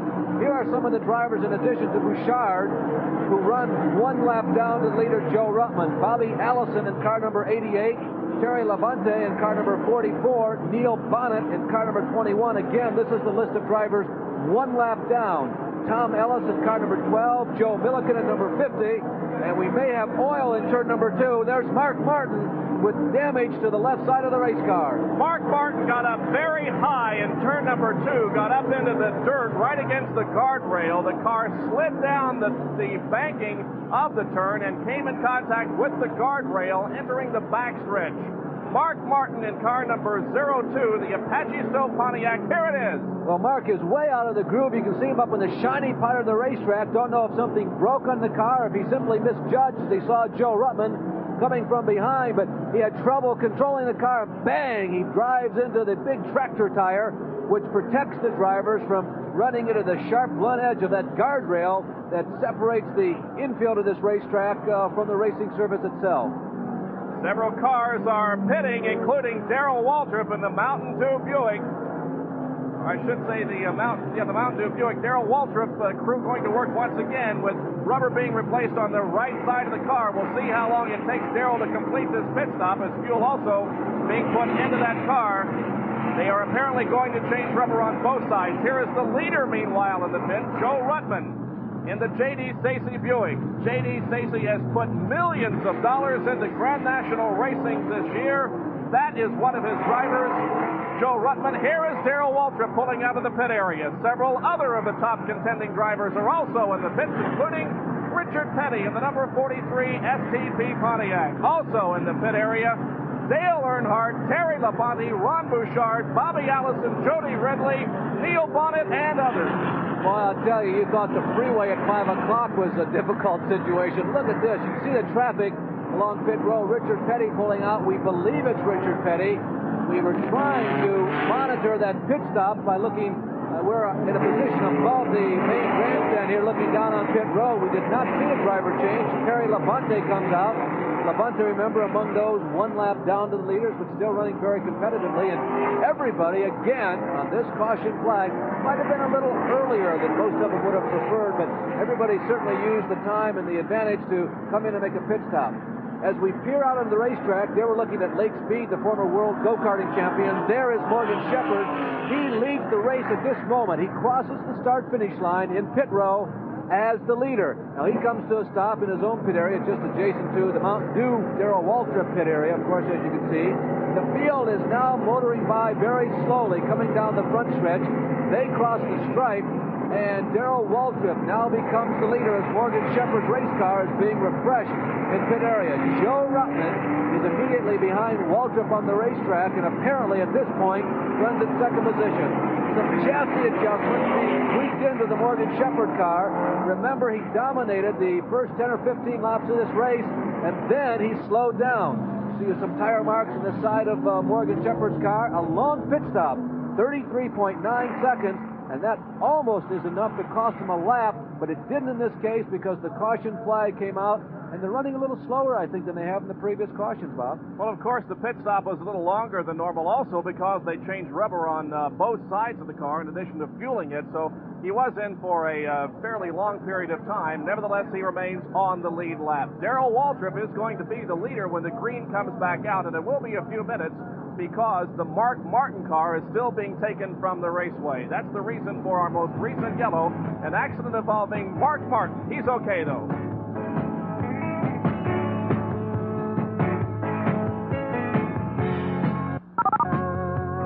There's a little bit of chaos surrounding the car 02 Apache still car driven by Mark Marty had to pull in. The mechanics thought it might have blocked up in the fourth gear. Mark, what happened? Mark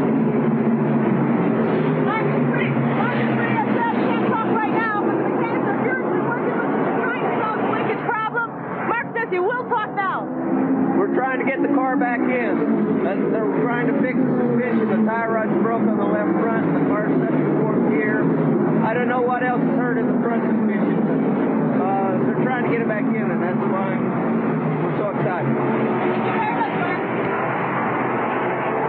Mark Martin, certainly one of the up and coming young race drivers in Grand National Racing, and he has a bent machine, but look at the effort being made to get it back in the races. We take a look at the battle for the lead between Darrell Waltrip and Joe Ruttman. If Mark Martin is excited in that particular situation, I'd like to see him when he's not excited. He said they were so excited, but he was pretty calm and cool sitting there just waiting for the work to be done. We have completed 202 laps. We are more than halfway finished, and let's hope we don't get rain. But if we should, and it should be a long-lasting rain, we would have a complete race. Let's go down now the standings at this point as we take a look at the first two positions. Darrell Waltrip and Joe Ruttman. In third, Benny Parsons. Fourth place is Daryl Earnhardt. Fifth is Richard Petty. In sixth position is Morgan Shepherd. And seventh, Dave Marcis. Those are the cars on the lead lap. Now, lap down in eighth is Bobby Allison. Ninth, Ron Bouchard. Tenth is Terry Labonte. Eleventh position belongs to Neil Bonnett. And that is the standings as we have them at the halfway point, 200 laps, and we've completed now 204. Well, we're watching Darrell Waltrip, the guy who has dominated NASCAR racing for the last five years, as we look at those drivers who are out of the race. Gary Balough out for mechanical problems on lap number 46. The Indy 500 Ace Tom Sneva, also mechanical problems. The hood is still up on that car in pit area. He completed 111 laps before he dropped out. Harry Gant, who lost an engine. And we have a lead change, Larry, as Darrell Waltrip got very high in turn one. He's still out control down the backstretch loses several positions. Joe Ruttman moves into the lead. Could there be a problem with the Darrell Waltrip Mountain Dew car? We'll see if he comes into the pit area. I believe he is. Waltrip bringing that Buick into the pit. Something happened I there. I think he's got a flat tire. No, I guess not. I saw. I thought I saw some rubber flying from the car, but not so. All tires seem to be up on the Mountain Dew cars.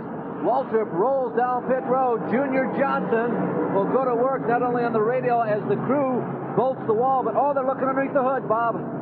Well, something happened as that car got into turn two. and got way high on the racetrack, allowing Joe Ruttman to go around. Then the car swerved down the backstretch, finally dropping to the inside of the racetrack where Waltrip brought the car into the pit area. So an obvious problem with the Darrell Waltrip car as work is being done to the engine trying to fix it and get Darrell back into this race. It's been a tough afternoon for Darrell Waltrip. Yeah, it really has. Uh, we have just begun to comment that Waltrip, who won 12 times last year, has won 36 times over the last five years.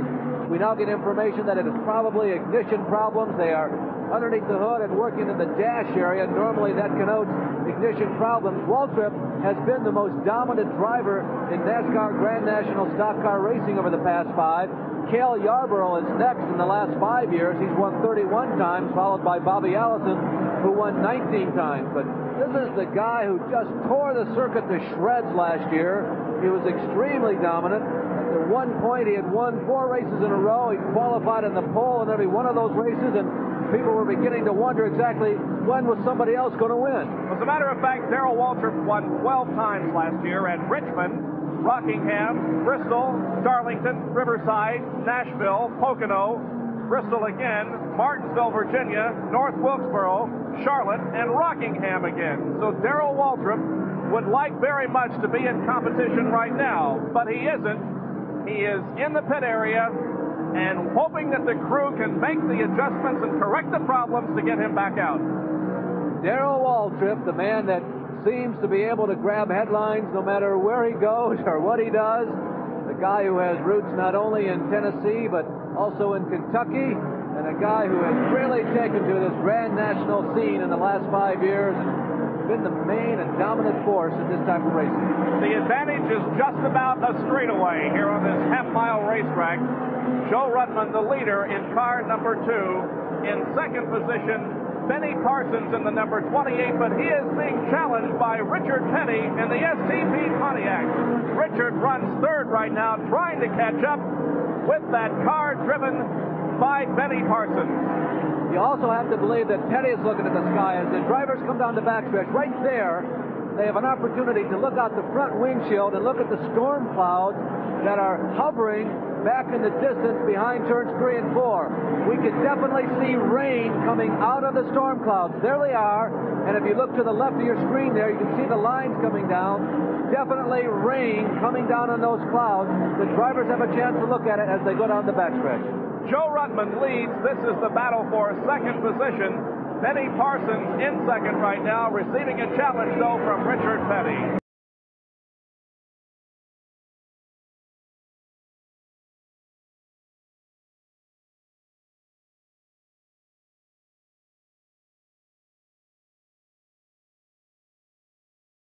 Bob Jenkins, Larry Nuber, and Leandra Riley at Richmond, Virginia, and we have completed 217 laps, not 186 as I indicated a few seconds ago. We're more than halfway through 217, and the race right now is for second position. And here we're watching it. It involves Benny Parsons and Richard Petty, and Petty right up on the back bumper of the Parsons car, shoving him through turns one and two and down the backstretch. And all that with a big cast on the foot. Remember breaking Parsons slips up coming out of turn number two, opens the door momentarily for Richard, but uh, Richard is unable to gather up enough steam to get underneath. Benny Parsons from Ellerbe, North Carolina is 40 years of age. And a car is high in turn number four. That is Morgan Shepherd, as he has a problem in that area of the racetrack, but it does not involve a caution period. We go down to the pits of Leandra Riley. I'm afraid things have gone from bad to worse for Darrell Waltrip. He has removed his goggles and his gloves. He feels he is out of it. There was an explosion, a pop of sorts when they tried to restart the car. It is ignition problem, but they're working on it. All right, we indicated that uh, Morgan Shepherd was having a problem. You can see it very graphically. The right front tire is flat on that car, and he had trouble controlling the vehicle in turns three and four, and also in turns one and two. But he has managed to lift the car into the pit area, and now the crew will go to work on it. The crew headed by Buddy Parrott. This is the Levi Garrett Buick, driven by Conover, North Carolina's Morgan Shepherd, and they'll try to get that car back in the race. Morgan, our early leader in this event. Well, Morgan was also one of the remaining six cars on the lead lap. Now there are only five. Here they are. The leader is Joe Ruttman, whom incidentally, Ruttman today goes after win number one in Grand National Stock Car Competition. Benny Parsons remains on the lead lap, as does Richard Petty, Dale Earnhardt, and Dave Marcis. Further information on the Morgan Shepherd problem. Here's Leandra again. Precious seconds were lost in the Morgan Shepherd pit stop. His right front tire went flat, it bent the rim of the car. They had to bang it off with a hammer, and the mechanic was trying to get that right front tire off could not get anybody to hand him a hammer. He had to run back in, run back out, an unfortunate delay of time for Morgan Shepherd. I also see now that they are pushing the Mountain Dew crew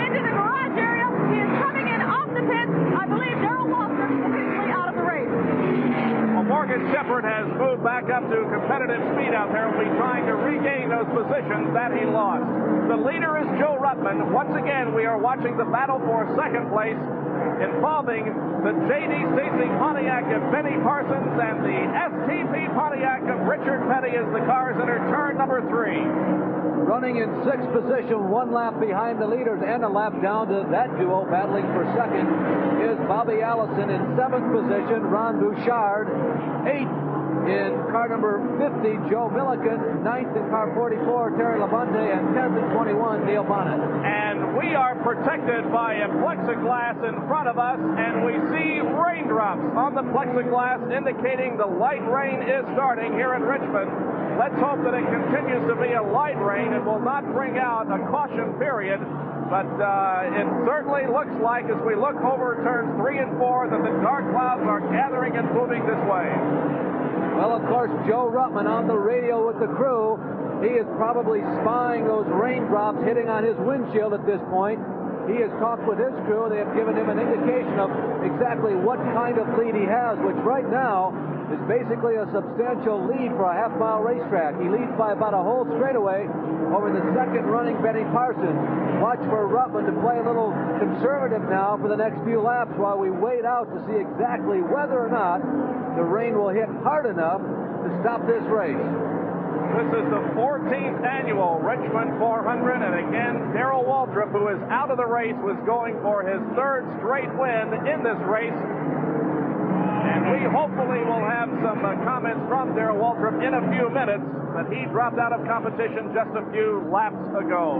The second place battle has uh, lightened up somewhat as Benny Parsons has lengthened his advantage by a few car lengths over Richard Petty as Benny Parsons moves to the high side of the racetrack in an attempt to uh, go around the back marker. And we do have Darrell Waltrip now in the pit. Darrell, happening was problems with the ignition, correct? I don't know. Can you tell us the condition of the track when you were? Was it slick or were the out of the track? No, it's about like normal. This track always gets real slick and uh, real treacherous out there. You just got to pick your way along. Uh, we, uh, just like last week, we were out in the front when something went wrong. So, you know, maybe next week. Thank you, Darrell.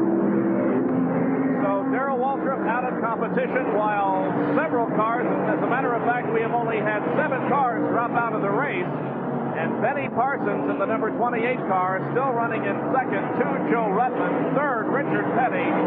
Now, uh, Kyle Petty is in the pits at this time, so Kyle having problems with his STP Pontiac. Mark Martin in in the Apache Stove Pontiac. 23-year-old from North Liberty, Indiana, is back in competition. You'll remember a few laps ago, his car got way high up in turn number one and slid down the banking into or almost touching the retaining wall at the beginning of the backstretch. But repairs have been made to that car, and Mark is back out there in competition. Well, Mark, of course, officially is going after the Rookie of the Year title, and the most points are awarded in that race to the highest finishing rookie of every race. And uh, Mark, of course, wants to get back out there, hopefully finishing in the top 20 or 25, and he could still be the highest finishing among the first-year drivers. Joe Ruttman continues to lead this race, and earlier this week, Ruttman was quoted as saying that this was the kind of track that he's run on for about 95% of his career. We're still looking at uh, Mark Martin as he continues to pull around this racetrack. He looks like he's uh, picked back up on some speed, and Martin is back on the speedway. Kyle Petty remains in the pits. Mark Martin out on the racetrack. Joe Ruttman is the leader of the Richmond 400. We'll be back in a moment.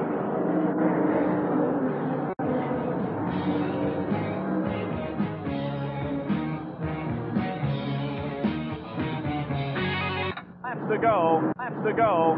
The J.D. Stacy Buick, driven by Joe Ruttman, has the lead. The J.D. Stacy Pontiac, driven by Benny Parsons, is running in second position. The STP Pontiac with Richard Petty is running in third.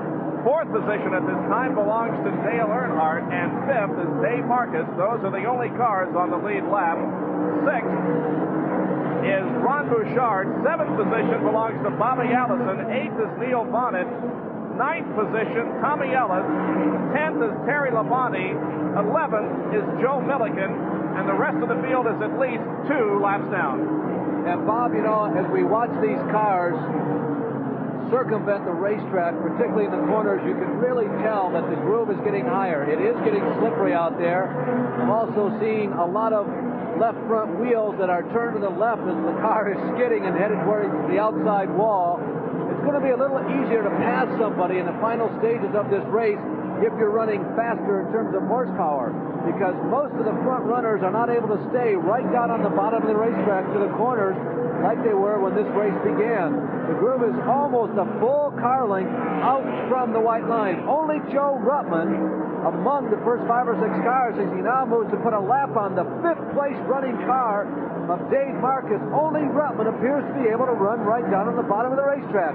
Everybody else is washing out as they enter the turn. Well, that Buick of Joe Ruttman handling very well as he now has moved around Dave Marcis, putting him a lap down. Now we have four cars on the lead lap. Well, ESPN will bring you live coverage of several races this year, including several other NASCAR Grand National Winston Cup races, not only on the shorter tracks like we're giving you today here in Richmond, but also the super speedways will be in Talladega, Alabama later this season for coverage of a Grand National race where speeds will be at the 200 mile an hour mark.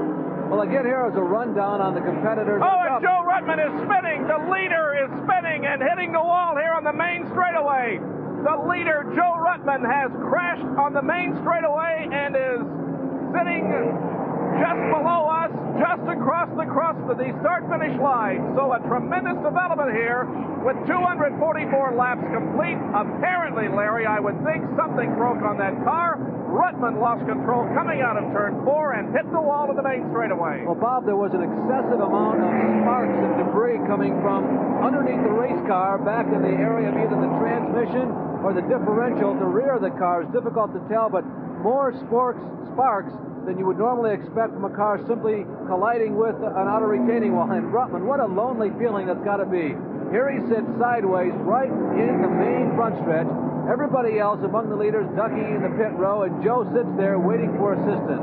He's beginning to move around and unbuckle in the race car. I don't think he really made much contact with any fence at all. There you see Joe uh, going down the backstretch, coming out of turn number four. There he is, rather not the backstretch. That is turn four. The car simply breaking loose underneath him and going into a long slide, backing up down the front. So you see debris coming out. No significant contact with the outer retaining wall. And now the car's getting backwards down the front stretch and coming to a stop, and all the other competitors directly behind missing him. So Joe Ruttman, who appeared to be en route to his first ever Grand National stock car win, is now out of it. The F1 California driver, 37 year old, has climbed out of his race car and surveying the damage to the automobile. And there is damage on uh, the left side of the car, and the raindrops now begin to come down just a little bit harder. Bob, very interesting situation right now. All the leaders have been in and out of the pits, and right now it's very, pretty difficult to tell exactly who the leader is. Morgan Shepherd had lost the lap earlier in the race. We're now going down the lineup to see those drivers who are on the lead lap to see who the first one is in line, and it might be Richard Petty. That's a very premature and a very early guess. But we're trying to determine among those cars on the racetrack right now who are those on the lead lap. And the first one I see is Richard Petty. Boy, this is a very definite development here. What's going on? The yellow had come out because of the Ruttman accident, and the leaders pitted. While they were in the pits, the rain started to come down, and it's all going to depend upon who did not pit and who stayed out there as to who the leader at this point is. And God forbid, should we stop this race at this point, it's going to determine the leader, the winner of the race. I'm going to reconfirm it's Richard Petty. Richard Petty is up front. The guy with the broken leg. It's not obviously a broken leg. Um, but Dave Marcis, who also was among the leaders throughout most of the day, had just been lapped before Joe Ruttman spun out. So again, we're saying it's unofficial, and uh, we are checking with timing and scoring, but the rain is coming down quite heavily right now. You can see the crowd running for shelter. Most of the crews are also doing the same, and uh, we're waiting for confirmation on scoring. Now, they do have an option, of course, to have a delay in this race and to restart it. But the rain does appear to be quite heavy, and uh, if we call this race, we've got a surprise winner. We sure do, and let's get uh, further word from the pit area now. Here's Leandra. I am here at the Richard Petty crew, and they say that they believe Richard Petty was out in front when the rain started. So if this race is stopped, looks like Richard Petty might be the one who gets credit for the checkered flag. Well, Richard Petty's car moving down the main straightaway. Now, we have uh, word from timing and scoring that Dave Marcus uh, may not have been lapped or got back on the lead lap somehow. We just don't know at this point and are going to have to await further word from the NASCAR official timing and scoring division. And they, of course, have a handle on the situation. It could be Richard Petty. It could be Dave Marcis. There is some speculation it could be Morgan Shepherd that's in the lead right now. We'll stand by and uh, continue to watch this very significant development here at Richmond, but it's raining rather hard right now, although the pace car does stay out on the racetrack, slowing the cars to a, a virtual crawl here, at least on the main straightaway, as we wait and see whether the rain is going to continue or let up. Well, I'll tell you, what a heartbreak for Joe Ruttman. He missed not by a couple of laps, but by about a minute. All that race car had to do was stay together for one more minute, and he'd be the winner of this race, hands down, with no question. Well, Dave Marcis in the 71 could be the leader at this point. Again, we will try to survey the situation and get back to you in just a moment here in Richmond where it's raining. They're letting me drive again. I feel alive again. They're letting me drive again. Back in Richmond, Virginia, a very wet Richmond Fairgrounds Raceway right now. The rain continues to fall, making this track very, very wet. The cars are still out there, however, and Dave Marcis in the 19 and the number 71 Stacy Chevy could be in the lead at this point, or it could be Richard Petty, or it could be several other drivers. We still don't know at this point, but what a development for Joe Ruttman, who was leading this event coming down the main straightaway. Now, here's the, the confusion. Uh, 71 Marcis is shown as the leader on one of the scoreboards here, the electronic scoreboard back at the uh, backstretch, but in the infield, Richard Petty in the number 43 is shown as the leader. So we don't know at this point, but timing and scoring will get it sorted out for us, and we'll uh, be on top of the situation. Bob, I'll tell you what, there's probably got to be a lot of sentiment on Dave Marcis's side. That guy right there, Richard Petty, he's won a couple of these races a few times down the road a piece back a couple of years. But Dave Marcis is currently riding a 137 race winless streak. Marcis has not won since August of 1976 on the Grand National Trail. That win was on a super speedway at Talladega. Boy, would he like to win one here. When you go 137 races in a row and run up front in the top 10 like Marcis has, you'll take them any way they come. The red flag is being displayed, indicating that next time around the cars will stop. The yellow is being displayed by one of the officials, while the other official, Harold Kinder, the official starter of the NASCAR Winston Cup division, is pointing to the infield and telling the drivers that they should pull into the pit area next time around. I believe that is the situation because it is still raining rather hard here. Well, Marcis now has to have a lot of things going through his mind. Uh, all the drivers were able to successfully tour this racetrack. It may look like a simple procedure to drive in this on this wet, flat racetrack, but I tell you, the racing tires, uh, they're very smooth. There are no treads on these tires, just a few darts that are drawn in them primarily to uh, give the tires a little bit of bite on the racetrack and help keep them cool. Now they have stopped the cars on the backstretch. The indication is that, at least at this point, uh, the intention is to try and wait out this rainstorm. Uh, of course, what this does, it stops the clocks, it stops the lap counter from flipping over. If you look in the upper left-hand corner of your screen against the dark trees in the background, you can still see the rain falling down. The rain is still coming down. It has not stopped. It is completely saturated and soaked this one half mile oval here in Richmond, Virginia. And some of the pit crews have uh, created their own shelters from canvases and whatever in the pit area as they uh, see their cars stopped on the backstretch here in Richmond and the rain continuing to come down. So we have certainly put a damper on what was a very exciting race with a lot of different developments. Early in the race, Waltrip coming in for a pit stop and later falling out of contention with a mechanical problem. Joe Ruttman taking the lead and leading several laps, doing a great job in that car before he lost control of it in turn number four and slammed the wall in the front straightaway, taking him out of the lead. And then the rains came. But certainly the hard luck story of the afternoon does involve Joe Ruttman, and here he is in the pit area. Joe Ruttman, it was a, an unusual circumstance. He hit the wall and then he came out of the straightaway. What went wrong with the car? Well, I, I have laryngitis. I want to tell Harpo I'm all right other than for the laryngitis and hi to the girls. But uh, it felt like some mechanical uh, giveaway in the back of the car, and uh, maybe the rear end uh, might have, uh, ring and pinion might have bl- went, and it lurched the car. And then about that time, I felt I felt the tire blow, and then that's when the car come around. Unfortunately, after that, the rain started. Do you know who was the leader after you dropped out? Could you tell? No, when you when you're driving, I'm sure Dale kept track. He knew Dale Inman knew who was running second. We just lapped uh, uh, Dave Marcis, so that uh, you know, he said at that time he was running fifth, and we had a nine-second lead. He told me that, and we were just running kind of easy along, and you know, I could see the rain was coming. We was talking back and forth on the on the radios uh, concerning the rain, so that uh, we wanted to make sure that uh, you know that you know they didn't run us too long in the rain because on the, with these kind of tires it's a little dangerous. Thank you, Joe Ruttman. No confusion settled here as to who is the real leader, Richard Petty or David Marcis.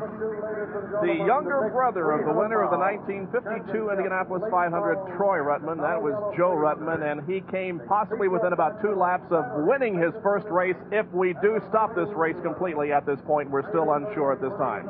We'll be back at Richmond after this message.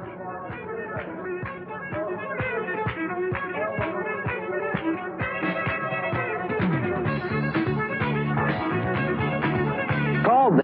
The rain continues to fall. We have completed 250 laps, and some of the spectators now are looking toward the sky, wondering when and if this rain is going to stop and we can continue with this race. 250 laps have been completed out of 400, so we are past the halfway point. The cars have been stopped on the backstretch. And at this point, it apparently is the situation where Dave Marcis in the Stacy Chevy is the leader at this point. Now we saw him uh, we saw him lap, but uh, maybe he did get back on the lead lap. That's what they tell us, and so that's what we go with. Once again, here's Leandra Riley. I'm in the number 43 Richard Petty pit, and with me is crew member Steve Mill. Steve, you said originally that you guys thought you had the lead, but now you have changed your mind. Yeah, well, uh, 71 got lapped about two laps before the caution come out, and the leader wrecked. What he did, he made his lap up, come all the way back around the racetrack, and he never did pit on caution. When we pit under the caution, we were behind 71 and 28. The 28 changed four tires, and we seen them doing it, so we changed two to beat them out because we didn't think the race would ever go green again.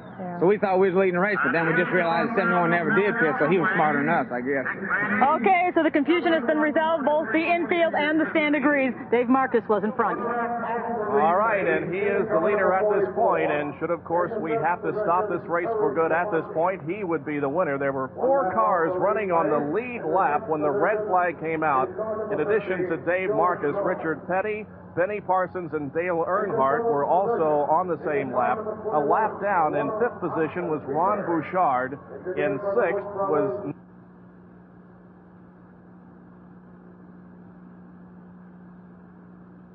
Joe Millikan. In ninth was Bobby Allison, and in tenth position, Morgan Shepherd. Well, you got to take your hats off to uh, Jerry Darling, the crew chief today on Dave Marcis's car. It's a guy who doesn't have uh, quite as much experience as a crew chief as some of the other entrants here, but they certainly made a good decision as the rain began to fall here at Richmond, Virginia. Well, as we look over turns three and four, we really don't see a break in the weather. The, the rain is continuing. There's no sign of a little bit brighter here in Richmond. The rain has stopped at least, and now the effort will be made to dry the racetrack. We understand they'll bring some trucks out with tires trailing behind them in an effort to dry the track a little bit quicker. At this point, the leader is Dave Marcis in the number 71.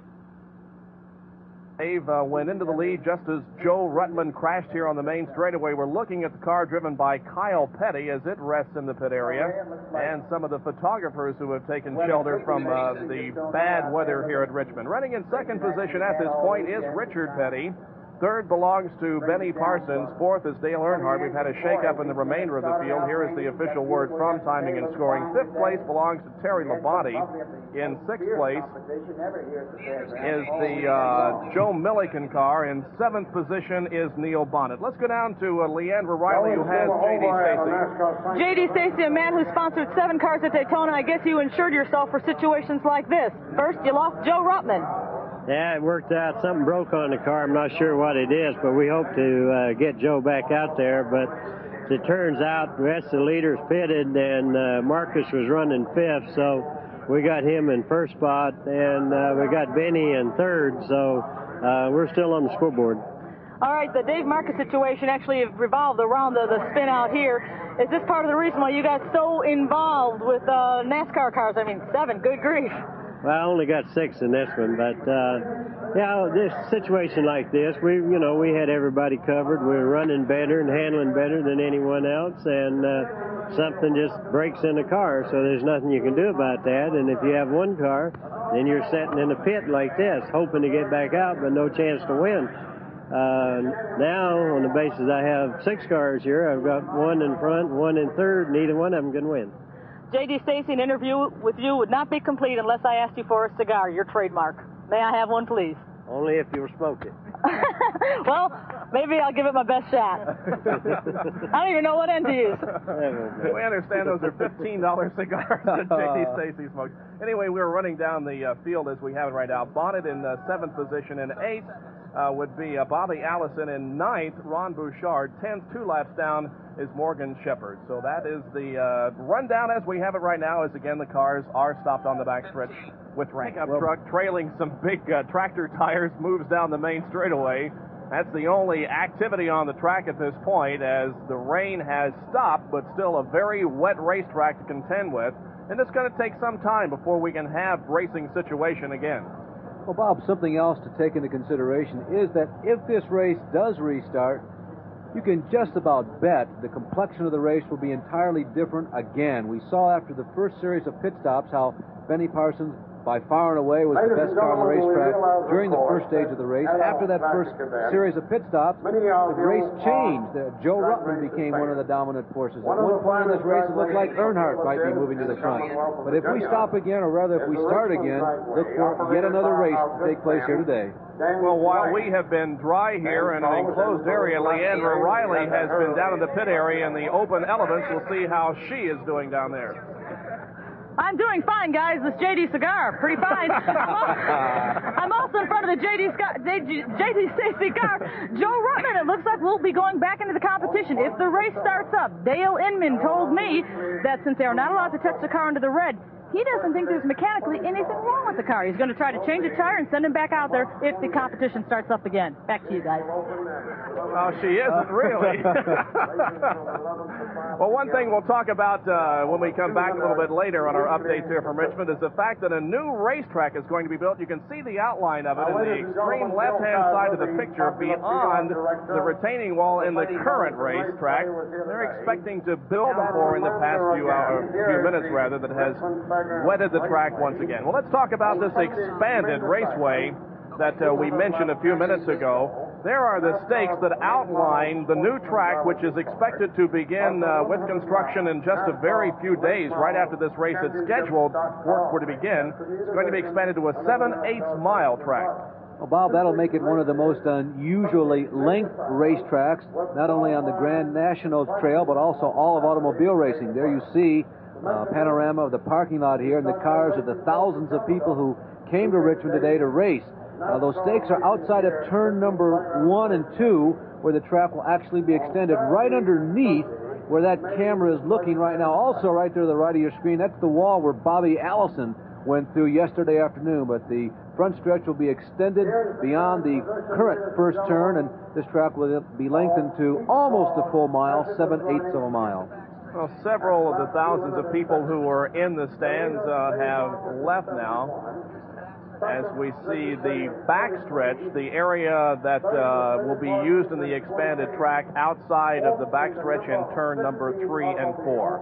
Well, with 250 laps completed, 150 to go in the Richmond 400, and a rain delay, Dave Marcis is being shown as the leader with Richard Petty in second position and Benny Parsons in third. Dale Earnhardt, Terry Labonte, and Joe Millikan running fourth, fifth, and sixth at this point.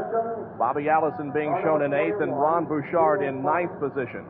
Cars are stopped on the backstretch, and uh, work, as we indicated, being made to dry the track with pickup trucks out there with tires behind them, but it's still coming down here, and we don't really see any let up in the next Richmond 400. At this point, with 250 laps completed, Dave Marcis the leader, Richard Petty second, Benny Parsons third, and Dale Earnhardt fourth, and we're still hopeful that we can complete this race.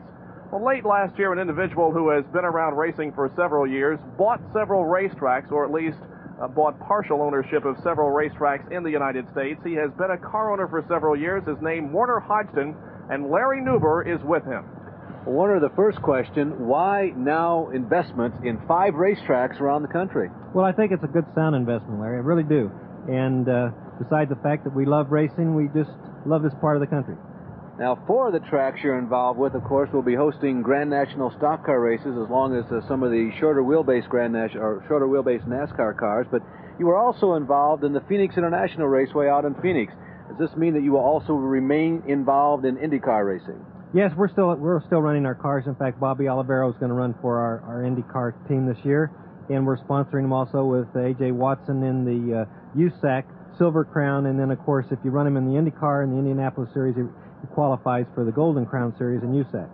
So you'll be involved not only in the pavement races, as far as the IndyCar goes, but uh, also on dirt this year. That's right. Looks today like we're involved in the mud races and the rain races too. Indeed, we are. Now, something else that happened at this event today that uh, I think was a pleasant surprise to all of the fans who came here. We saw the Wood Brothers car on a short track. I was talking uh, with Leonard before the race began. He said this is the first time since 1968, or the very first year that this track was paved, the first time since 68 that the Wood Brothers familiar number 21 was at this speedway. Does this mean that we'll be seeing the Wood Brothers cars at some more short tracks? Well, I don't year? know if I can talk them to come in again. You know, we were running a lap behind, even though we'd worked ourselves up to uh, seventh place, and uh, they're pretty proud people. So I don't know how well I'm going to do keeping them coming back here. You know, with a Grand National team, with an IndyCar team, and five racetracks, I imagine a lot of people are curious. How in the world did you ever get interested in this crazy thing they call automobile racing? Well, I'm not too smart, and uh, that's number one. But I, I, I was smart enough to figure out this probably the only business we could ever get into that all you had to do was go around in circles all day and once in a while win. Well, you know, you have made a big splash in the world of racing with your acquisition of all the tracks, and uh, Jim Stacy with the proliferation of entries in terms of cars, seven race cars he has the ability to field in any given race this year. Uh, have the two of you had any opportunity to compare notes, and have you asked him why so many race cars, and listen to him say, well, why so many racetracks? No, I, I know Jim, and of course uh, Neil Bonnett, uh, who drives for our car number 21, and the Woods brothers. uh, drove for Mr. Stacy four or five years ago. But I, I really don't say too much to him. He's in the coal business. he, he's down in the hole in the coal business, and I'm going in the hole in the racetrack business. I guess we have that in common. Oh, we certainly hope not. Of course, we certainly hope for brighter weather also.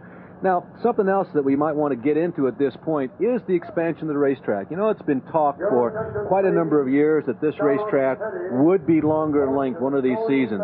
Is it going to happen this time for sure? Well, we're certainly going to try to and have it done in 1983. We've laid out the basically the circumference of it. We can get a one mile track in here very comfortably, but we're looking at other alternatives to possibly we get a little bit longer track uh, at the fairgrounds. So your point is then that the reports that we have had that this track would be enlarged between this event and the next one on the 1982 trail. That is not accurate. No, because those, those two events are too close together. I think we would start uh, the other way around and try to get it done through 1983. Well, Warner Hodgdon and I say that there are a lot of people, not only uh, up and down pit road, who are glad that you're involved in racing, particularly the Wood brothers. You came along at a time when uh, they really needed some help, and you have been directly responsible for keeping a car that many people feel is the number one chair in Grand National Stock Car Racing on the racetrack, but also your investment in five racetracks around the country and a variety of forms of racing. A lot of people are very happy. Well, I thank you very much. I got great partners in all the racetracks. Can you tell me what happened at the very end of the race when the yellow came out? Was it intentional that you did not pull into the pits? Well, you know, I was, it was, I knew it was looked like rain. I had been getting some rain on the windshield. Of course, when Joe got by me, you know, I needed to get back in the same lap. And when his left rear tire blew out, he spun. I really had to catch the pace car. So it really wasn't a thing to do to come in the pits. And everyone else thought they'd quick dive in. So, uh, plus it was raining and I just stayed out to get caught up with the pace car and start raining harder. So, uh, you know, it's uh, this is a tough way to win one, but I know other people have, and I'll take it. And you've lost tough for one, so congratulations to you. Couldn't have happened to a finer fellow. Back to you, Bob.